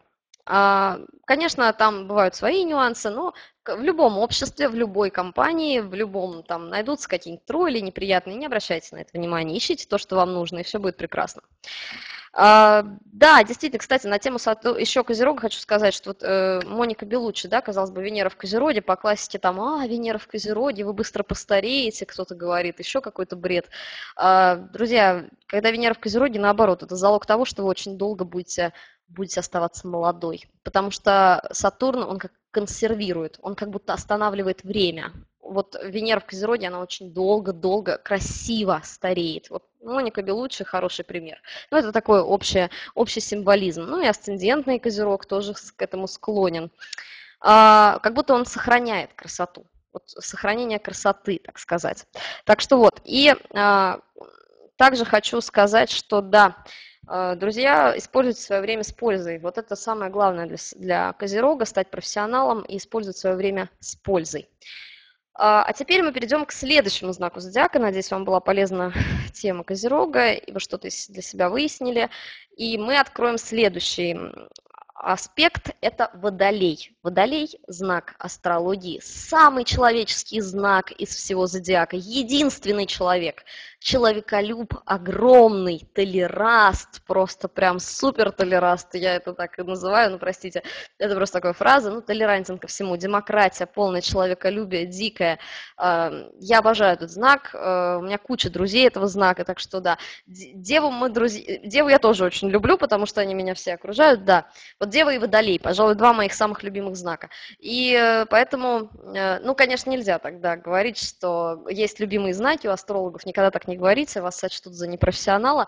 Астролог должен любить все знаки, как как раз водолей, потому что он понимает и осознает силу каждого человека. Он может с высоты птичьего полета посмотреть на каждую позицию, на любой взгляд.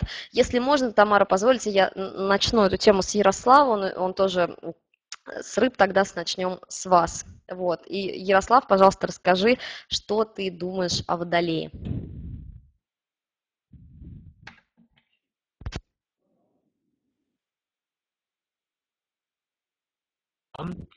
Ну, насчет Водолея, да, действительно, Катя, ты очень верно отметила то, что вот он может с высоты птичьего полета рассмотреть, но опять-таки это очень много зависит именно от степени проработки самого Водолея, да.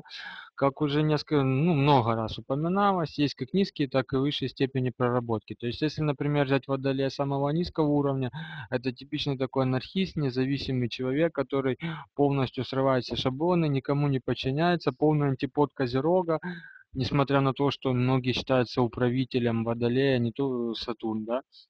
Кроме этого, такие водолеи обычно, э, скажем так, безответственны, зачастую непунктуальны, им все равно на любые условности им не важны чьи-то мнения, им не важны даже авторитеты, они много срывают. То есть тут э, очень такая двойственная тема, когда водолея можно считать действительно таким толерантным, человеколюбивым знаком, а с другой стороны можно его воспринимать как такого очень эгоистичного, думающего, скажем так, о том, как удивлять других людей, вместо того, чтобы думать об их будущем, об их спокойствии и тому подобное.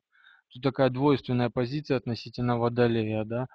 Ну, а в целом качество Водолея очень интересно тем, что это действительно очень независимый человек, очень свободолюбивый человек. Это человек, который противостоит, скажем так, качествам льва, да, то есть он не требует эм, общества, он не, не так требует общественного признания, ему не столь необходимы такие эм, какие-то регалии, он не поклонник э, каких-либо паттернов, шаблонов. То есть, если его сравнить с кем-либо, он скорее будет недоволен, чем э, радоваться тем, что его сравнили. Кроме этого, водолеи, они очень эксцентричные люди, то есть зачастую такие типаж таких людей воспринимают как каких-то непонятных. Ну, в многих, наверное, учебниках вы читали, что водолеев можно характеризовать как пришельцев с другой планеты. Ну, в принципе, да, возможно. Они считаются, что Водолей обгоняет свое будущее, как Уран, который является с таким прогности... очень неординарным, очень прогности... очень таким э, трудно прогнозируемым, да, планетой, которую очень тяжело предположить и узнать, что будет от нее в будущем. То же самое от Водолеев, многие не знают, чего ожидать от них, многие не знают, какие, насколько у них непонятны качества. Казалось бы, фиксированный знак, который гарантирует то, что водолей, у него есть качества, которые, скажем так, постоянные, да, на самом деле они зачастую колеблются. В один день он может говорить одно, а в другой день он может принять совсем другую позицию. То есть как весы, да, допустим, как, как знак весов другой воздушный, которые колеблются. Один день они одни, другой день они другие. Поэтому тут очень так, водолей специфичный. Несмотря вот на свою фиксированность, управитель Уран берет свое. В целом, вот так вот, если рассмотреть водолея, это очень можно назвать его действительно положительным знаком, потому что на высшей степени проработки это действительно толерантный, духовный человек. У него нет расизма, у него нет нацизма. Он противник каких-либо шаблонов в плане, допустим, цвета кожи, мировоззрения, идеологии. То есть, при, то есть такой знак зодиака э, и вообще знак Водолея очень силен сам по себе, и в этом его преимущество и плюсы. То есть, допустим, в то время как другой будет концентрироваться на каких-либо предрассудках, шаблонах, стереотипах или паттернах, Водолей их разобьет пух и прах или вообще не обратит на них внимания. Ему он не позиционирует э, чужое мнение как э, первоисточник, как истину или еще как что-то. Водолею необходимо, видимо, как э, соуправителю Сатурну, да, Водолея, ему необходимы факты, ему необходима четкость, ему необходимы э, сведения.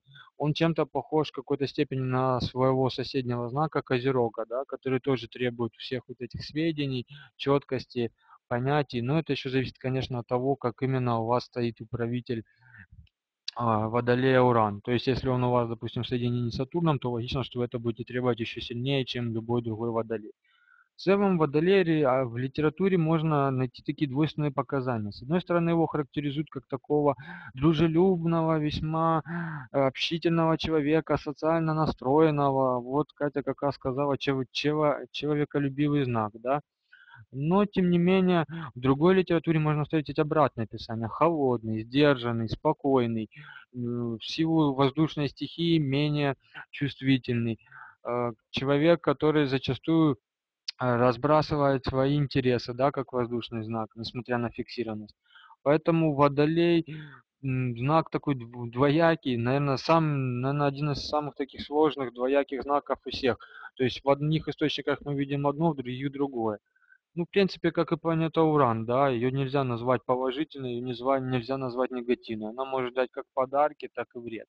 Поэтому очень специфическая такая тема, очень сложная касательно Водолея. Ну, если пройтись по Куспидам, да, допустим, пер, первый дом под Водолеем. Это человеку очень неординарный, его внешность может быть совсем не похожа на других, он может быть склонным к экспериментам в своей внешности допустим, либо одеваться по-другому, либо татуировки, либо какая тема, связанная с э, вообще э, отделением от других и выделением своей оригинальности, уникальности принципе, скажем так, э, вот э, Тамара часто затрагивала тему детей водолеев, да, хочется отметить, что тут э, сложный нюанс. С одной стороны, если воспитывать водолея в рамках того, что он оригинален, уникален, он неординарен, необычен, и, в общем, все эти термины, которые употребляются в качестве подчеркивания ребенка как такого хорошего, умного, уникального, да, это прекрасно, и тем более водолей солнце изгоняется, насколько то, и, то получается, что в таком случае мы подчеркиваем эти качества, даем ему какую-то такую силу, даем ему изначальный толчок для того, чтобы его солнце не было настолько, скажем так, ущербно, да.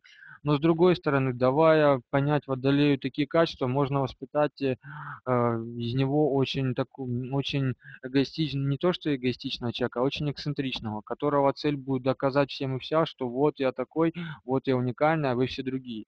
То есть он будет пытаться найти какую-то другую тенденцию, другую моду, другое течение, которое будет его выделять от других. И в этом его, на мой взгляд, серьезная ошибка. Необходимо не искать какую-либо моду, какие-либо другие тенденции, какие-либо другие отделения.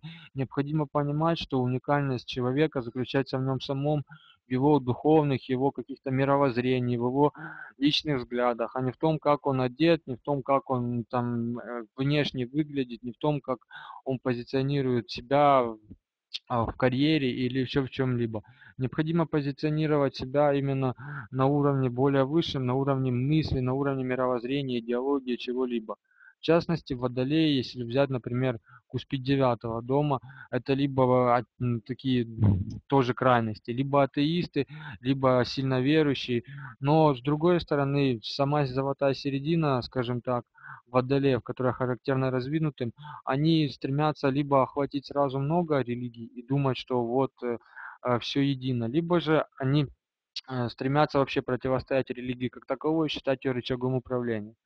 Ну, в целом, тут опять-таки это зависит от их уровня развития. То есть есть атеисты, которые, я не считаю их низким уровнем развития, я просто считаю, что да, они не верят ни во что, им нужны доказательства, и у них своя идеология. А есть, допустим, те, кто верят в то, что все религии, по сути, ведут к одному, к первоисточнику, и от него уже и делают выводы. К тому же такие люди с, с куспидом девятого дома, водолеи, они скорее э, толерантны к чужим мировоззрениям, они толерантны к религии, к чужим странам, у них нет стремления доказать, что э, чья-то, чья-то страна хуже, чья-то лучше. Хотя стоит отметить, что, допустим, Э, при активном девятом доме и Куспиде Водолее, то можно сказать, что это один из показателей на возможное желание переехать из своей страны, на возможное желание жить в другом месте.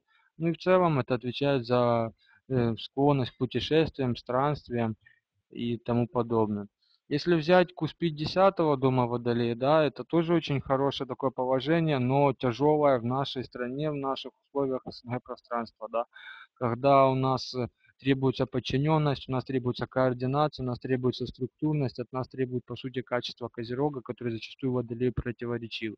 Более того, зачастую руководители это как раз львы или те же козероги, которые предпочитают показывать и давить своим солнцем, давить своим я, давить своими позициями и тому подобное. Поэтому водолеем, допустим, с куспидом 10 дома крайне тяжело быть в условиях тогда, когда они кому-то подчиняются. Им не подходит рутинная работа, им не подходит работа, которая связана с какими-то обычной стандартной монотонностью, когда требуется выполнять одни и те же действия, когда требуется подчиняться, где нельзя выражать свою оригинальность, уникальность, то есть нельзя показать свою какие-то нестандартные взгляды, мнения и тому подобное. Поэтому водолеям сложно в этом плане в работе, именно под подчинением. И зачастую мы видим водолеев, это астрологи, фрилансеры, всякие коучеры, в общем, любые профессии, которые мало связаны с подчинением кому-либо. Это те люди, которые э, работают сами на себя. Это поклонники собственного, э, собственной реализации и независимости от кого-либо такие люди отличаются двумя степенями, двумя такими различиями. Либо водолеи очень ответственные по соуправителю, да, то есть они прежде чем соуправителями в Сатурна, то есть они предпочитают э, также долго изучать, как Козерог, долго брать на себя ответственность и тому подобное. Либо же они наоборот более такие мягкие, дружелюбные, которые более склонны к юмору, которые оптимистичны, так дружелюбно настроены и тому подобное. То есть есть разные степени градации. И вот эта разница, когда говорят одни, что вот дружелюбный, хороший, добрый, особенно это заметно, когда люди говорят про одиннадцатый дом, да, символический управитель одиннадцатого дома – это водолей. И поэтому многие считают, что вот водолей – это обязательно дружественные, такие дружелюбные самые люди, которые светлые, пушистые, добрые и тому подобное. Ну, Честно говоря, это очень наивно так считать, потому что а, очень много зависит от целом натальной карты, всех показателей и тому подобное. Поэтому я бы не стал вам рекомендовать вот так вот сразу их приписывать таким компанейским ребятам, которые все стремятся, все э, со всеми друзьями, человеколюбием и тому подобное. Ну, если взять, допустим, Водолея, вот тоже в Куспи третьего дома Водолей, да, очень интересный момент – но опять-таки тяжелый, как и Куспид 10 дома Водолея. В обучении в школе будут э, трудности. Это требуется либо какое-либо неординарное обучение, то есть либо какая-то специализированная школа, либо требуется обучение даже возможно на дому, потому что такой водолей будет всегда спрашивать, почему так, почему не так, всегда спорить с учителем, вступать в какие-то дискуссии, ему интересны факты, ему интересны мнения, разные стороны. А если человек пропагандирует какую-то одну систему, одну цель, то у водолея будут возникать вопросы, почему именно так, а не иначе. И зачастую ответы учителя носят ну, либо сложный, либо другой характер. По крайней мере, как замечала Тамара, с нашей системой обучения это действительно крайне сложное положение.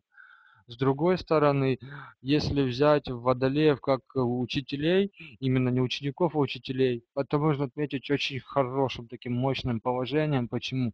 Потому что водолеи сами по себе, обучившись и набравшись опыта, набравшись э, каких-либо знаний, набравшись всего, они способны дать ученикам свою свои знания, свой опыт в разных плоскостях. То есть они не показывают, что вот есть одна система, вам нужно строго ее придерживаться, и вы только так делаете, и все будет хорошо.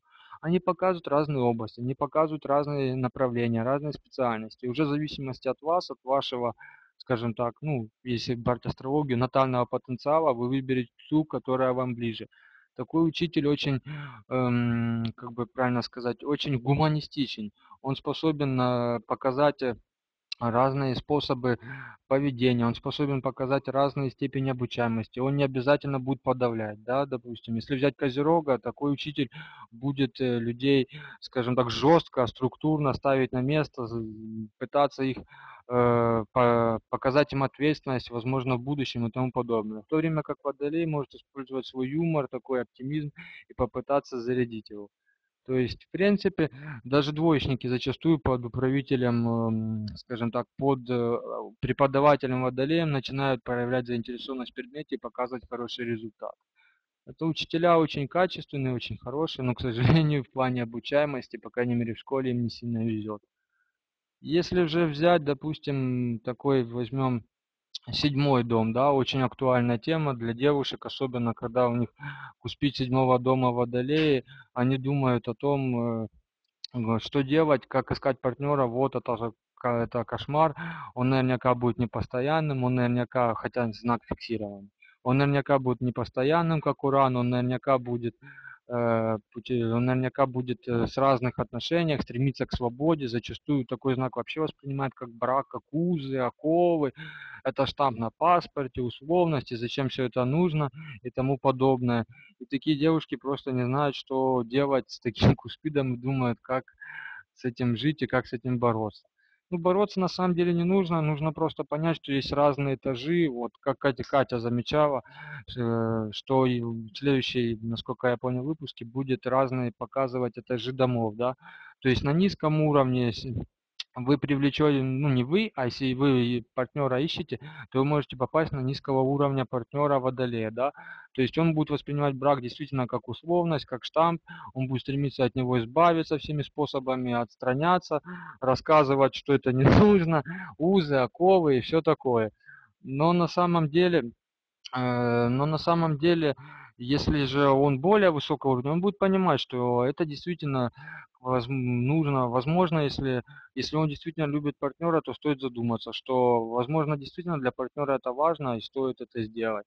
Более того, на высоком, ну, я не говорю, что высокий уровень это обязательно лучше или хуже. Я просто рассказываю про разные такие этажи, да, седьмого дома. Другой же этаж седьмого дома, допустим, это программисты, это всякие фрилансеры, даже взять тех же наших, э, взять нас, да, астрологов. Это все уже другой этаж, настрою другой этаж седьмого дома, и по нему мы можем попытаться э, уже выйти на партнеров, которые будут более лобильны, более лояльны, они от вас вряд ли уйдут, вряд ли сбегут из-под венца и тому подобное. Поэтому с такими, с такими людьми, скажем, уже отношения строить проще и легче.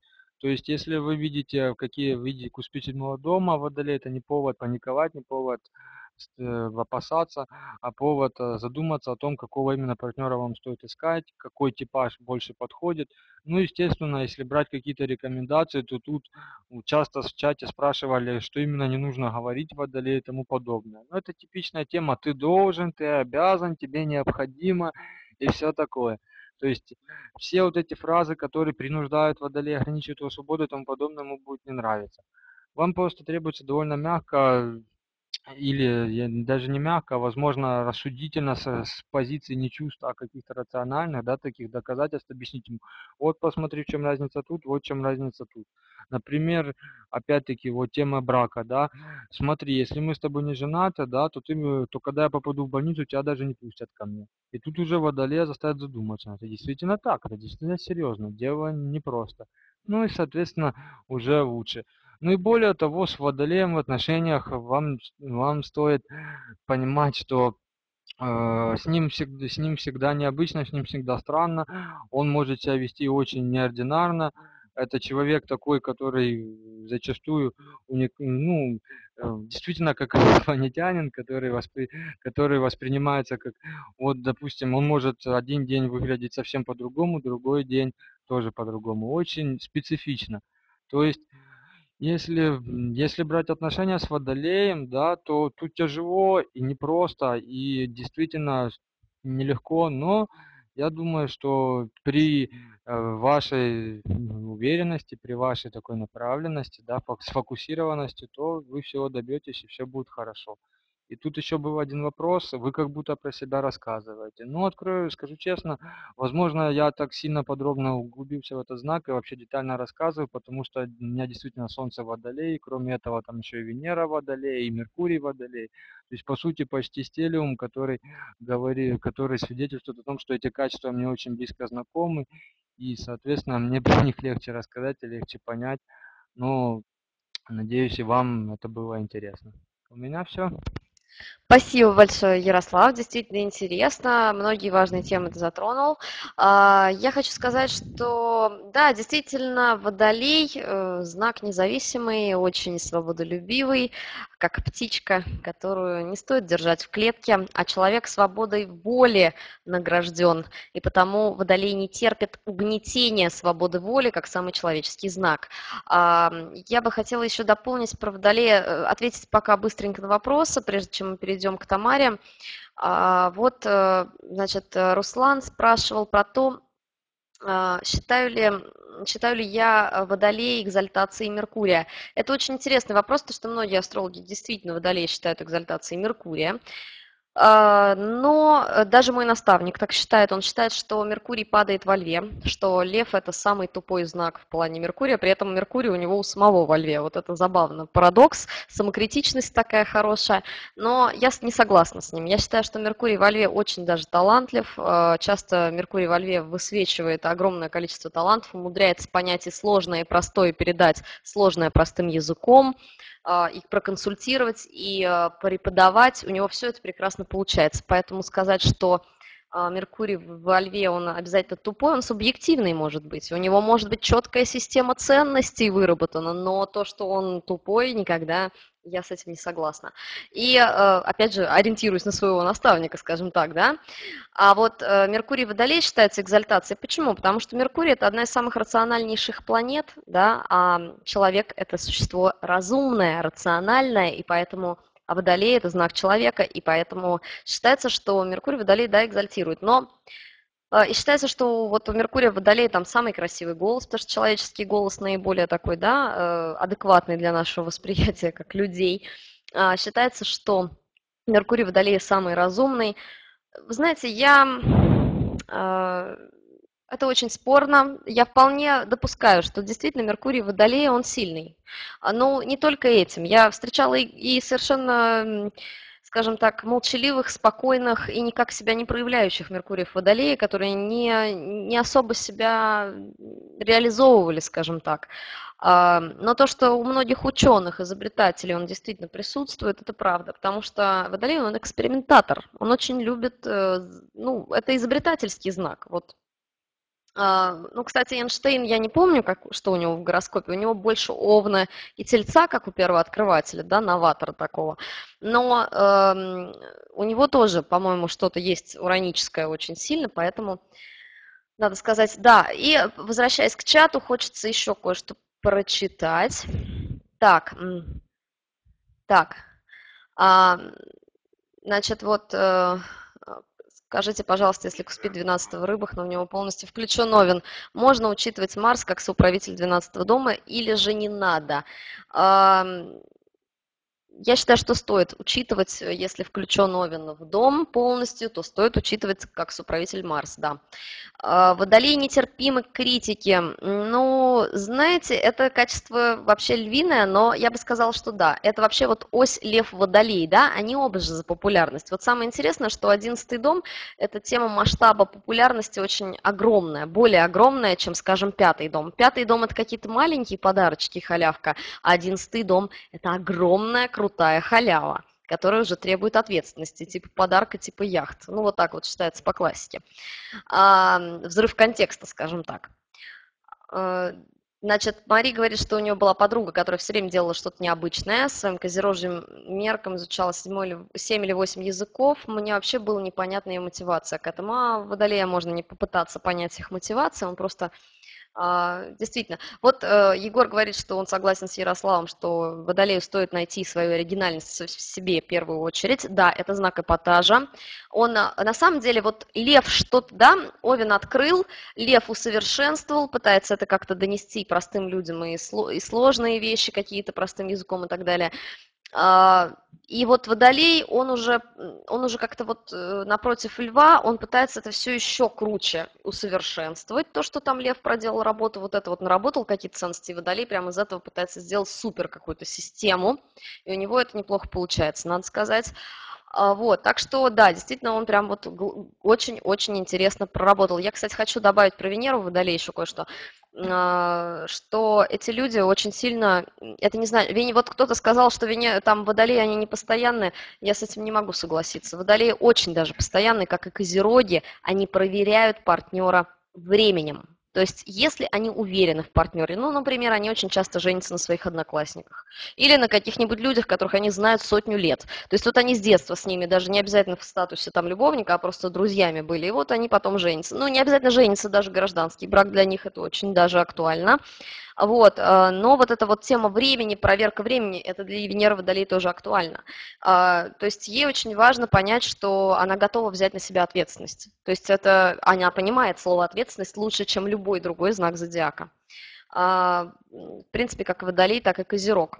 Полина говорит, что помимо всего прочего еще и семейные обязательства. Там дело не в том, что Водолей, а в испорченном детстве а, ну да, семейные обязательства – это как раз то, о чем мы говорим. И, а, ну, друзья рассуждают. Так, тяжеловато вылавливать из текста, но я попробую. Ну вот, ну, так что да, вообще э, пораженный, пораженное плохое солнце дисгармоничное, дисгармоничный огонь, он плохо относится к критике, ну и водолей тоже плохо. Я могу даже, ну, у меня Меркурий водолей, я сужу по себе. Э, но сказать, что вот однозначно Водолей – это экзальтация Меркурия, я не могу, честно вам скажу. Но то, что в воздушных знаках Меркурию хорошо, это факт. Это факт, потому что это его стихия. Так что вот. Давайте теперь э, попробуем... Э, да, давайте теперь послушаем Тамару. Э, прошу прощения за ожидание. Э, Тамара, пожалуйста, расскажите нам про Водолея. Уж я смотрю, уменьшается количество слушателей, все-таки, наверное, в восточных регионах уже поздно, и можно я займу буквально несколько секунд на объявление 16 а, апреля в Екатеринбурге состоится мой семинар эм, «Астрология индивидуальных кризисов». Если здесь есть кто из Екатеринбурга и еще не слышали, то а, э, прошу, э, информация в группе есть еще одно объявление сделаем. Итак, к Водолею. Ну, у меня к Водолею отношение тоже особое, поскольку мой папа был Водолей, а, и знак Девы, где находится мое Солнце, он пятый знак от Водолея, а это считается сложным положением для восприятия знаков. Поэтому, конечно, я не могу сказать, что э, я э, до конца э, понимаю этот знак, все-таки очень сложно.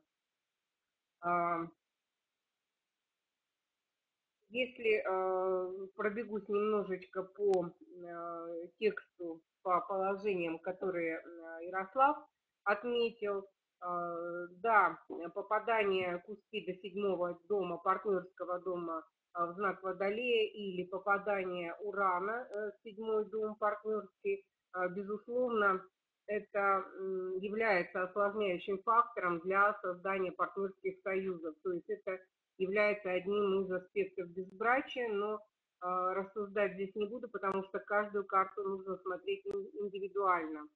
А если Куспит 10 дома, вы знаете, что я специализируюсь в бизнес-астрологии, Куспит а, 10 дома попадает в Водолей или в 10 дом попадает Уран, а 10 дом у нас дом карьеры, дом профессионального роста, дом статуса, то, э, кроме всего прочего, такое попадание указывает на то, что вам противопоказан жесткий график, то есть работа от звонка до звонка, или какой-то упорядоченный труд, э, например, работа на конвейере, а, с таким положением а, десятого дома а, желателен свободный график работы, гибкий график работы, как минимум. Все мы знаем, что, под, э, э, что Россия э, находится, в общем-то, под управлением Водолея. И если вы вспомните, с каким, скольким, вернее, открытием имела отношение Россия и кроме отношения не имела, собственно, ничего, то можно понять аналогию, что Водолей действительно может что-то изобрести, может что-то открыть, Э, но а, потом э, вот эти открытия как бы а, к рукам прибирают более оборотистые люди, а водолей может остаться ни с чем, именно из-за своего, а, из-за своих особенностей. Характерно архетипическое э, представление о русском народе, оно отражено в сказках. Иван непременно дурак, а Емеле была выделена целая неделя, чтобы он молол, мели Емеля, твоя неделя. Однако э, это именно э, у них э, печь ехала сама, топор рубил дрова без пригляда, сани неслись без лошадей, а щука была говорящей. А в троице воздушных знаков интеллекта близнецы являются собой ветер порывистый, переменный, Весы подобны паскатам и бризу, а водолей – это ураган. И, если, а, и это тоже отражено в представлениях о русском народе. Рус долго запрягают, но быстро едут. Добродушный, незлобивый, дружественный водолей в гневе страшен, как и его тотемный зверь-медведь. В истории начало любому делу непременно а, полагает тот или иной гений. Как правило, это водолей, на вскидку несколько имен. А, в науке и технике Галилей, Коперник, Бекон, Дарвин, Ландау, Келдыш, Бехтерев, э, Эдисон, а, Нобели, Браунинг, Чижевский, Котельников, Ситроен, Феррари, Майбах. В литературе и искусстве Гофман, Диккенс, Маэм, Байрон, Жюль Верн, Бомарше, Стендаль, Кэрол, Бернс, Крылов, Чехов, Бажов, Катаев, Пастернак.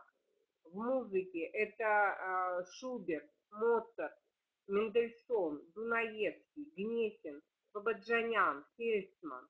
Среди политиков Вашингтон, э, Линкольн, Рузвельт, Рейган, Чаушевску и, конечно же, наш незабвенный Борис Николаевич Ельцин. Военачальники Чапаев, Фрунзе, Тухачевский, Ворошилов. Особым образом, а, конечно, нужно отметить летчиков. А, в гороскопах властителей воздуха не только те, чье солнце в водолее, как, например, у нашего Валерия Чкалова, а, с уверенностью можно сказать, что сильный знак водолея обязателен в гороскопе любого летчика, как своеобразный пропуск в небо. Если летчик водолей не смог посадить самолет, значит самолет посадить было нельзя. А, карма водолея предполагает несколько этапов. А, первый – образование. Необразованный водолей – это нонсенс. Второе условие реализации – это аскетизм. А, праздник жизни скучен для детей водолея было написано в старинной астрологической книге. Готовность э, следовать за своей звездой ограничившись малым, святой долг одиннадцатого знака. Когда водолей откроется новое, это рано или поздно случится непременно, от него потребуется создать для этого нового язык. И тут потребуется вся мощь водолейского интеллекта. А, вспомните Жюля Верна и Томаса Эдисона. И тот, и другой создали мощнейшие языки описания открывшихся э, им знаний. А, этапы духовного становления Водолея Ярослав прописал я вкратце, просто немножко другая символика. А, первый уровень революционер-бомбист. А, Ставрогин, бесов Достоевского, в общем-то, очень хорошая иллюстрация. Второй уровень изобретатель, ну, мы уже Эдисона упомянули. Третий уровень фантаст, Абсолютный символ э, третьего уровня – это Томас Мор с его утопией. И, наконец, самый высокий уровень – это пророк. Э, здесь всякий вспомнит э, Вангу. Не к ночи будет помянут Григорий Распутин, тоже водолей. Как тут не вспомнить то, что было сказано о великом российском поэте и пророке Водолее Владимире Высоцком. Какое время на дворе, таков Мессия. А, интересно еще а, особенность водолея, это из личного наблюдения, это желание э, сделать насильно счастливыми других людей. Это вот э, черта, которая тоже может быть им присуща. Водолей ребенок. Крепышом такого ребенка не назовешь. Более того, в младенчестве, э, с младенчества в облике и в характере а, проглядывает некая прозрачность. Так сказывается стихия воздуха. Это вовсе не, не означает слабости воли или характера. Напротив, упорство и самомнение станут вылезать, как иголки из головы страшилы, и будут э, заметны всем окружающим. Вторая несомненная черта э, ребенка – это великолепная память и ум. Первонаперво не стоит пытаться обмануть маленького водолея. Вы с трудом представляете возможность его интеллекта. Все, что он не знает, он с легкостью находит с помощью своей интуиции. И вообще э, совет – разговаривайте с ним как с равным. И чем раньше вы сумеете выстроить именно такие отношения, тем будет лучше для всех вас. А, Ребенок водолей должен быть предельно и всесторонне образован. При этом э, не ставится вопрос о глубине знаний и опыта. Жизнь всегда предоставит возможность углубить знания, но редко когда предоставляет их расширить. А, поэтому позвольте э, своему ребенку читать все, что попадает в руки. И опять же, веяние современного времени, интернет. В интернете есть все. Вот. Э, ваша задача – это направить, верно направить и э, предоставить такую возможность. В профессиональном отношении природа не ограничивает водолеев ни в чем. И в этом э, особенность этого знака. Среди его представителей можно встретить кого угодно. Из особенностей э, психологии ребенка, как Россия э, прирастает Сибирью, так водолей прирастает одиночеством. У маленького водолейчика обязательно должен быть свой уголок, по возможности отдельная комната. А, книги э, самые для него подходящие. Майн Рид, Александр Беляев, Жюль Верн, Алексей Толстой, Иван Ефремов, Герберт Уэллс, Аркадий Борис Стругацкий, Марк Галлай. Исконно э, водолейские науки образования – это авиация, космонавтика, электричество, радиотехника, астрология, программирование, компьютерная дело, связь. Эм, часть тела по водолею – это лодыжки. Водолей мужчина. Ощущение силы есть. А если учесть, э, что самомнение, амбиции, уверенность перерастающий фанатизм у водолея бывает достаточно, то впечатление, как правило, он производит незабываемое. В компании такого не заметить бывает трудно, поскольку у водолей по природе своей, по замыслу кармы, неспровергатель и вертопрах, то тактичность – это не самое сильное его качество. О рассеянности водолея ходят легенды. Но это, конечно, не всем э, свойственно Э, но встречаются. То он э, может варить в кипятке хронометр, зажав куриное яйцо в руке, то выпиливает в двери три отверстия для трех котят, то надевает разные башмаки, возвращается домой и снова надевает разные, сменив и левый, и правый. Относительно того, каков водолей э, семейной жизни, ну, разное, конечно, но считается, что не создан он для семейной жизни, тяжело, это думать о вечном, считать звезды, проникать в тайны Вселенной, попутно э, зарабатывая на хлеб и обустраивая быт. Не то, что водолей совсем не способен зарабатывать на хлеб. Бывает иногда даже на хлеб с маслом и с икрой, но это как бы между делом. Водолей женщина. Э, вам приходилось слышать об особой красоте русских женщин? Я думаю, да. А, а про их характер, позволяющий войти в горящую избу и остановить коня на скаку, образ э, русской, э, советской, может быть, женщины, красивой, воздушной, пылкой, искренней. В 30-е годы на экране воплотила Любовь Орлова. А ее супруг э, и режиссер Григорий Александров просто гениально попал в то, что называется архетипом. А, потом были экранизации русских сказок и вновь поразительное попадание в образ женщины-водолея. Настенька, сказки «Морозко», сыгранная Натальей Седых, Варвара Краса, сыгранная Татьяной Клюевой. Э, вспомните эту удивительную чистоту и ясноглазую красоту сказочного женского образа. Вспомнили? Ну, э, значит, вам совершенно ясно, как выглядит водолей женщина. А, ей э, очень трудно даются земные чувства. Это и на самом деле трудно. Смотреть в небо, прокладывать дорогу в то же самое время думать о семье, детях, доме. А главное, какое-то роковое несоответствие характера и э, внутреннего мира, предъявляемого социальным ожиданиям.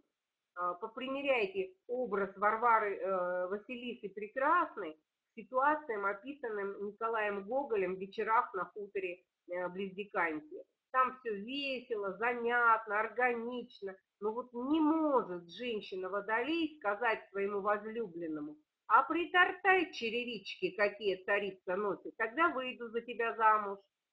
Поэтому и найдет женщину водолея только тот мужчина, которому нужна именно такая берегиня и защитница, способная сказать «утро вечера мудренее» или «это службишка не служба», уложит мужа спать, а сама пойдет и перевернет полмира, успеет к утру соткать гобелены, остановить коня на скаку и войти в горящую избу. С детьми у э, женщины Водолея тоже совершенно особые отношения. С самого рождения э, мать искренний друг своих детей. А в случае, если ребенок девочка, то окружающие часто могут принимать мать и дочь за сестер. Вот по Водолею у меня все, Катюш. Спасибо большое, Тамара. Э, очень исчерпывающий ответ, как всегда. В принципе, мне даже и добавить нечего. Единственное, хочу сказать, действительно, вот у меня Меркурий Водолей, я фанат Герберта Вейлса, я просто зачит, зачитываюсь его произведениями. А, также хочу добавить про авиацию, не только ураном, не только ураном авиация э, сделана, скажем так, когда э, Херон также участвует в авиации. Это также было наблюдение замечено на Кулусе, не помню, честно скажу вам, автора, но э, вот такое у него было исследование, что когда Херон это такая очень автоматизм, э, равновесие, доведенное до, до автоматизма, равновесие, которое более серьезное, чем, э, скажем, просто равновесие и баланс по Венере. Поэтому, когда вот Херон участвует на, в негативных аспектах на небе, вы можете проследить недавние катастрофы, он во всех них был в точных э, квадратах, оппозициях, э, с Юпитером, с Ураном участвовал так или иначе, э, или там с узлом был как-то за, задействован, то есть э, самолет нарушал, э, нарушалось равновесие самолета каким-то образом. И Юпитер, Юпитер тоже участвует в авиации, в карте тех, кто занимается так или иначе причастен к самолетам, будь то стюардесса или летчик. Юпитер сильно проявлен в карте, рыбы, стрелец, обычно рыбы, как такое бесконечное пространство. То есть Юпитер отвечает уже за верхние слои атмосферы, то есть вот до, до космоса еще, но все-таки да, за верхние атмосферы, поэтому Юпитер однозначно тоже участвует. И хочу сказать еще про водолеев, что это прекрасные люди, которые могут вас поддержать в любой ситуации, но также они будут смотреть достаточно справедливо, просто так поддерживать не будут. У них поддержка она осознанная, если только вы действительно правы. Э, вот это такие друзья, которые не будут вам льстить, они, скорее всего, будут говорить по факту и поддерживать тех, кто действительно этого заслуживает. Надо сказать, что люди с Луной Водолея очень часто умеют, а, да, во-первых, они танцуют танец фламенко в любых отношениях, то есть это парный танец, который подразумевает, единственный парный танец, подразумевающий соло. Вот, э, то есть вроде и вместе, но по раздельности. И также они э, общественники. Это люди-общественники, которые очень сильно заботятся не только об одном конкретном человеке, но обо всех людях. Вот у меня в доме живет управдом замечательный, который там и для Родины служила на госструктурах и так далее. Она э, заботится обо всех жильцах, все делает для жильцов, у нее луна в водолее, а про собственную дочь она забыла. То есть э, дочь растет без воспитания, это очень довольно, ну это не всем лунам в водолее свойственно, но они больше интересуются как-то вот э, общечеловеческим состоянием, чем состоянием каких-то отдельных людей. Вот, а, кстати, тут очень много говорили про сны. Хочу сказать, что за сны как раз стрелец отвечает. Вот девятый дом стрелец и рыбы Нептун. Поэтому вот, чтобы определить, что у вас там снится и почему, это вот связано с этими домами. Так что можете проанализировать. вот Дарина пишет, что, кстати, в догонку к козерогам и детскому здоровью очень при рождении находился буквально между жизнью и смертью. Подруга козерога с детства была слабенькой, непереносимость кальция, как итог перелома в подростковом возрасте через каждые полгода. Действительно, если избыток козерога, то это не очень здорово, ну, в плане кальция и так далее. А, либо недостаток. Вот отдельный ком... Так, что еще ребята пишут? Ну, вроде все отлично, замечательно. Так, в общем, про Водолея действительно. А, Егор спрашивает про символизм планет. Да, мы обязательно сделаем. Егор, про символизм планет. У нас будет также вебинар про этажи домов. Но мы сегодня еще не заканчиваем. Ребят, давайте добьем последний знак. Я понимаю, сейчас все устали, но чтобы его не оставлять уже, ну что он будет болтаться сам по себе. А, это рыбы. Рыбы самый сложный. Буквально еще полчасика потерпите, кто, кому интересно. Это знак, который вобрал в себя мудрость всего зодиака. Поэтому поэтому будет очень интересно а, поговорить насчет него. А, я хочу немножко добавить от себя, потому что я солнечные рыбы. Рыбы очень разные. Это вот как вода бывает абсолютно разная, да, добить рыбу, действительно красивая меча, подметила верно. Вода бывает абсолютно разная, она бывает мутная и прозрачная, текучая и стоячая, глубокая и мелкая. Это все про рыб. Они бывают абсолютно э, разных типажей, и как мутабельный знак, конечно же, тоже. В первую очередь рыбы – это вера, это вдохновение, это альтруизм, это жертва, это э, Иисус, который пожертвовал всем ради там, всего человечества. Опять же такой да, масштаб, масштаб как бы захватывают они. И э, рыбы действительно э, они способны как на самые ужасные, отвратительные этажи жизни, да, там алкаши, бомжи и прочие неприятные личности антисоциальные, Э, наркоманы и так далее, так и на самые возвышенные духовные. Вот, и поэтому это отличает этот знак от всех остальных вот, этим, вот этими совершенно э, контрастными уровнями. Вот, и действительно загадочный, как и все, в принципе, э, как и все водные знаки. Но рыба особенно, да, это самый многоэтажный знак, скажем так. А, я бы хотела, чтобы начал Ярослав, а, вот, хотя Ярослав говорил, что вот он не сильно в рыбах, а, ну, как вот такой прям суперпрофессионал, как в водолее, но все-таки так как Тамара сейчас немножечко, мне кажется, нужно отдохнуть, поэтому давайте начнем с Ярослава. Вот, и Ярослав, прошу к микрофону, расскажи, что ты думаешь про этот знак.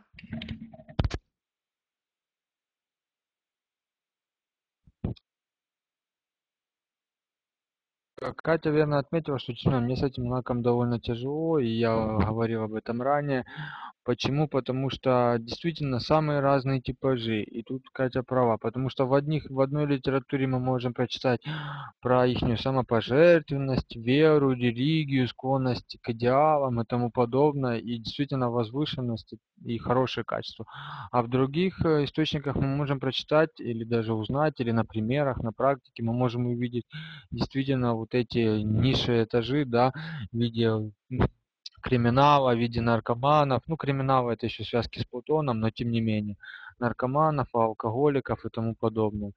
Поэтому а, при определении, при определении качеств рыб действительно тяжело угадать, что именно реализуется, даже если идут дома.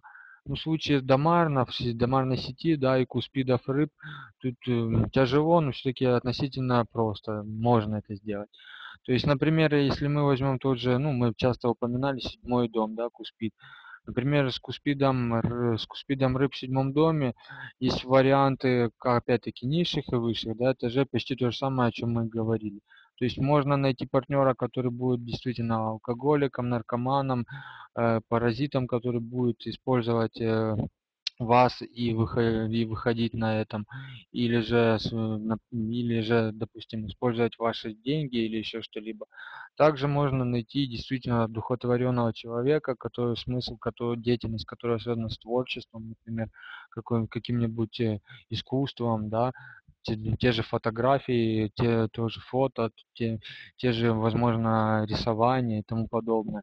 И тут необходимо суметь правильно найти партнера, а не остаться с этим. Вообще рыбам очень свойственно, э, как и Юпитеру, да, почему Юпитер экзотирует в рыбах, это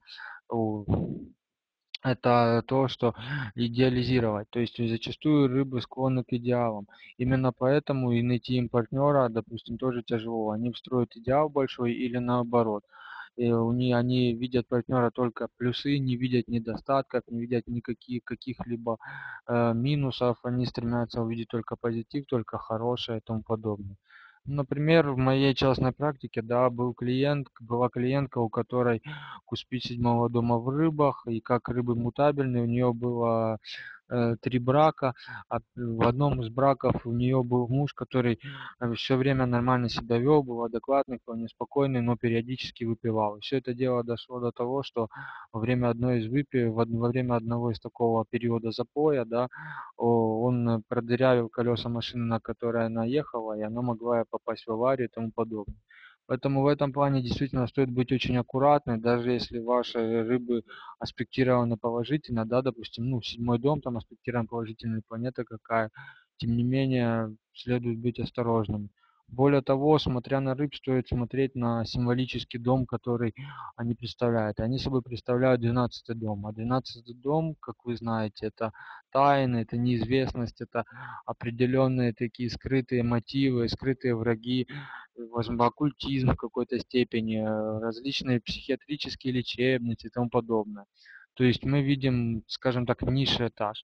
Поэтому, ориентируясь на рыб, надо смотреть на высший этаж, а это, в принципе, это возможно действительно не просто творчество, а возможно занятие какой-либо эзотерикой, сновидениями, возможно это, э, меди... возможно это даже именно психология глубины, когда человек, когда погружается во все, во все эти глубину да, воды, как как Екатерина говорила.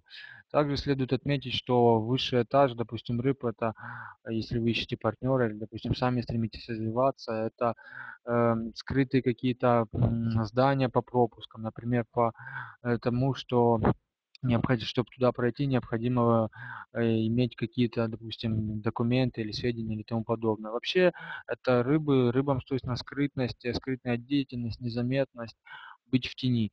То есть любая деятельность, допустим, тех же режиссеров, тех же сценаристов, которые не видны в кадре, да, допустим, как актеры, но их деятельность видна другим, и ей восхищаюсь. То есть это люди, которые довольно могут быть скрытны, их деятельность не видна, но на самом деле они вносят огромнейшее значение как таковое э, в мир вокруг, да и вообще в социум и все остальное. Частности, вот, допустим, если взять рыб, да, очень хорошая такая объединяющая тема рыб, это, допустим, профессия декоратора, да, который, по сути, не виден никому на той же свадьбе, но туда приходят, удивляются, вот как красиво, вот то, но по сути все это скрыто за одним человеком, который все это организовал, ну, или не одним, а несколько команд, их работа скрыта. Что же касается, допустим, третьего дома, да, Куспида третьего дома в рыбах, тут можно сказать, что такому знаку тяжело обучаться, очень, ну, на мой взгляд. Потому что с таким знаком они очень чувствительны к критике, и к тому же и, им сложно с ответственностью, они менее пунктуальны. То есть им, таким рыбам, возможно, гораздо проще обучаться в рамках э, школь, в рамках каких-то ну, если они самопознают себя, то им легче обучаться в каких-то заведениях. А вот если они, э, допустим, обучаются в школе, да, на стандартном уровне, то им тяжело, потому что э, на них если они почувствуют от учителя критику, то они уходят в себя, у них могут быть депрессии, плохие состояния и тому подобное. С другой же стороны, как все мутабельные знаки, рыбы могут легко адаптироваться, то есть, допустим, те же двоечники могут просить списывать у тех отличников или еще как-то, и тем самым выходить, то есть э, адаптироваться под какие-то новые методы. Как, как учителя рыбы, в принципе, довольно тоже хороши, потому что в силу своей мутабельности они могут подстроиться под учеников и подать им пример э, разных направлений они не агрессивные, они не будут давить на ученика, они не будут использовать методы шоковой терапии, да, которые характерны преподавателям Скорпиона, например. Они будут использовать мягкие методы, которые дадут ученикам, возможно, размытые понятия, но тем не менее они дадут такое чувство, образы. То есть вообще рыбам преподавать лучше тогда, когда они имеют какую-то фиксированность или сильную земную стихию, потому что иначе им довольно тяжело. В этом плане. Потом им сложно, им сложно сфокусировать свое внимание на чем-то одном, и, допустим, как тем же близнецам, да, которые разливаются в воде и сразу переходят в другое. То же самое, они могут переходить с одного на другое, перескакивать, и из-за этого им сложно полностью структурировать и подать информацию как нужно. В этом плане следует отметить, что, э, допустим, не всегда, не всегда это априори, не всегда это правило. Многие замечали, что, допустим, Меркурий в рыбах, да, который там находится в изгнании, он э, поддает у таких математиков, дает физиков и тому подобное. В принципе, да, действительно, это тема зудящих аспектов, зудящих планет, которые мы хотим проработать. И, возможно, люди действительно прорабатывают этот момент, и их рыбы уже работают по-другому. Что же касается еще некоторых других моментов, э, это, например, медицина, да. Э, рыбы очень сострадательны, считается, что они очень мягкие, очень мобильные и нелегко общаются с детьми, нелегко успокаивают медицине они тоже связаны, потому что Нептун это все-таки яды, химия и тому подобное. Поэтому в медицинах, в вопросах медицины тоже рыбы присутствуют. Но обычно это присутствует не как э, хирурги, допустим, или какие-то терапевты мощные. Это присутствуют как медсестры, более мягкие такие степени эм, эм, работы, да, допустим. Это люди, которые работают как ассистентами, помощниками и тому подобное. То есть они вряд ли будут выступать как такие априори лидеры в медицине. Еще следует отметить, что Нептун, э, рыбы, собственно, как и управитель Нептун, да, они зачастую идеалисты и э, способны создавать иллюзии, миражи. То есть такие люди менее, менее пунктуальны, такие люди э, в плане иллюзий могут спокойно создать Э, допустим, профессия макияжа, да, они могут очень хорошо создать образ, очень визажист, макияж, да, и тому подобное. То есть они могут очень хорошо создать образ, очень хорошо так сформулировать, что другие вообще не заметят. Принципе, рыбы это профессионалы в плане делегирования обязанностей. То есть им гораздо, то есть они могут легко перенаправить обязанность какую-то на другую, быть в команде, но при этом так, чтобы команда делала какие-то вещи за других. То есть, в принципе, это такие очень мудрые руководители, которые, несмотря на всю свою эту, казалось бы, расплывчатость, всю такую мягкость и тому подобное, они могут быть мудрыми руководителями благодаря тому, что умело подбирают кадры, которые могут э, уже действовать в своей, скажем так, сфере узкой ниши, да. Ну, еще следует отметить, что э, ры, рыбам э, Рыбы очень довольно такие, как стрельцы, они, кстати, очень похожие знаки. Опять-таки, у тех, у тех Юпитер, у тех, у тех идеализм, у тех, и тех такие высокие идеалы и тому подобное, духовенство и так далее. Э, в этом плане рыбы способны очень хорошо разговаривать, очень, вот, казалось бы, не мой знак, да, рыбы. Тем не менее, как бы в практике я встречал то, что такие люди, наоборот, много говорят и говорят очень искусно. Они говорят хорошо и так, что человек зачастую не понимает, о чем говорит рыба, и думает о том, и думает, что-то тут не то, меня ввел в совсем другие дебри.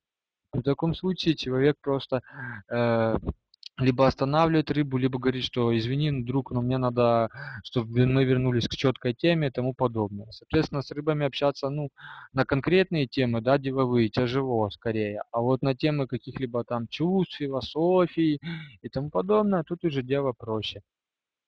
Ну, вот как-то мое такое краткое, я думаю, мнение о рыбах. У меня все. Спасибо большое, спасибо, Ярослав. Но пока не покидай нас, а, потому что еще предстоит mm-hmm. сказать последнее слово.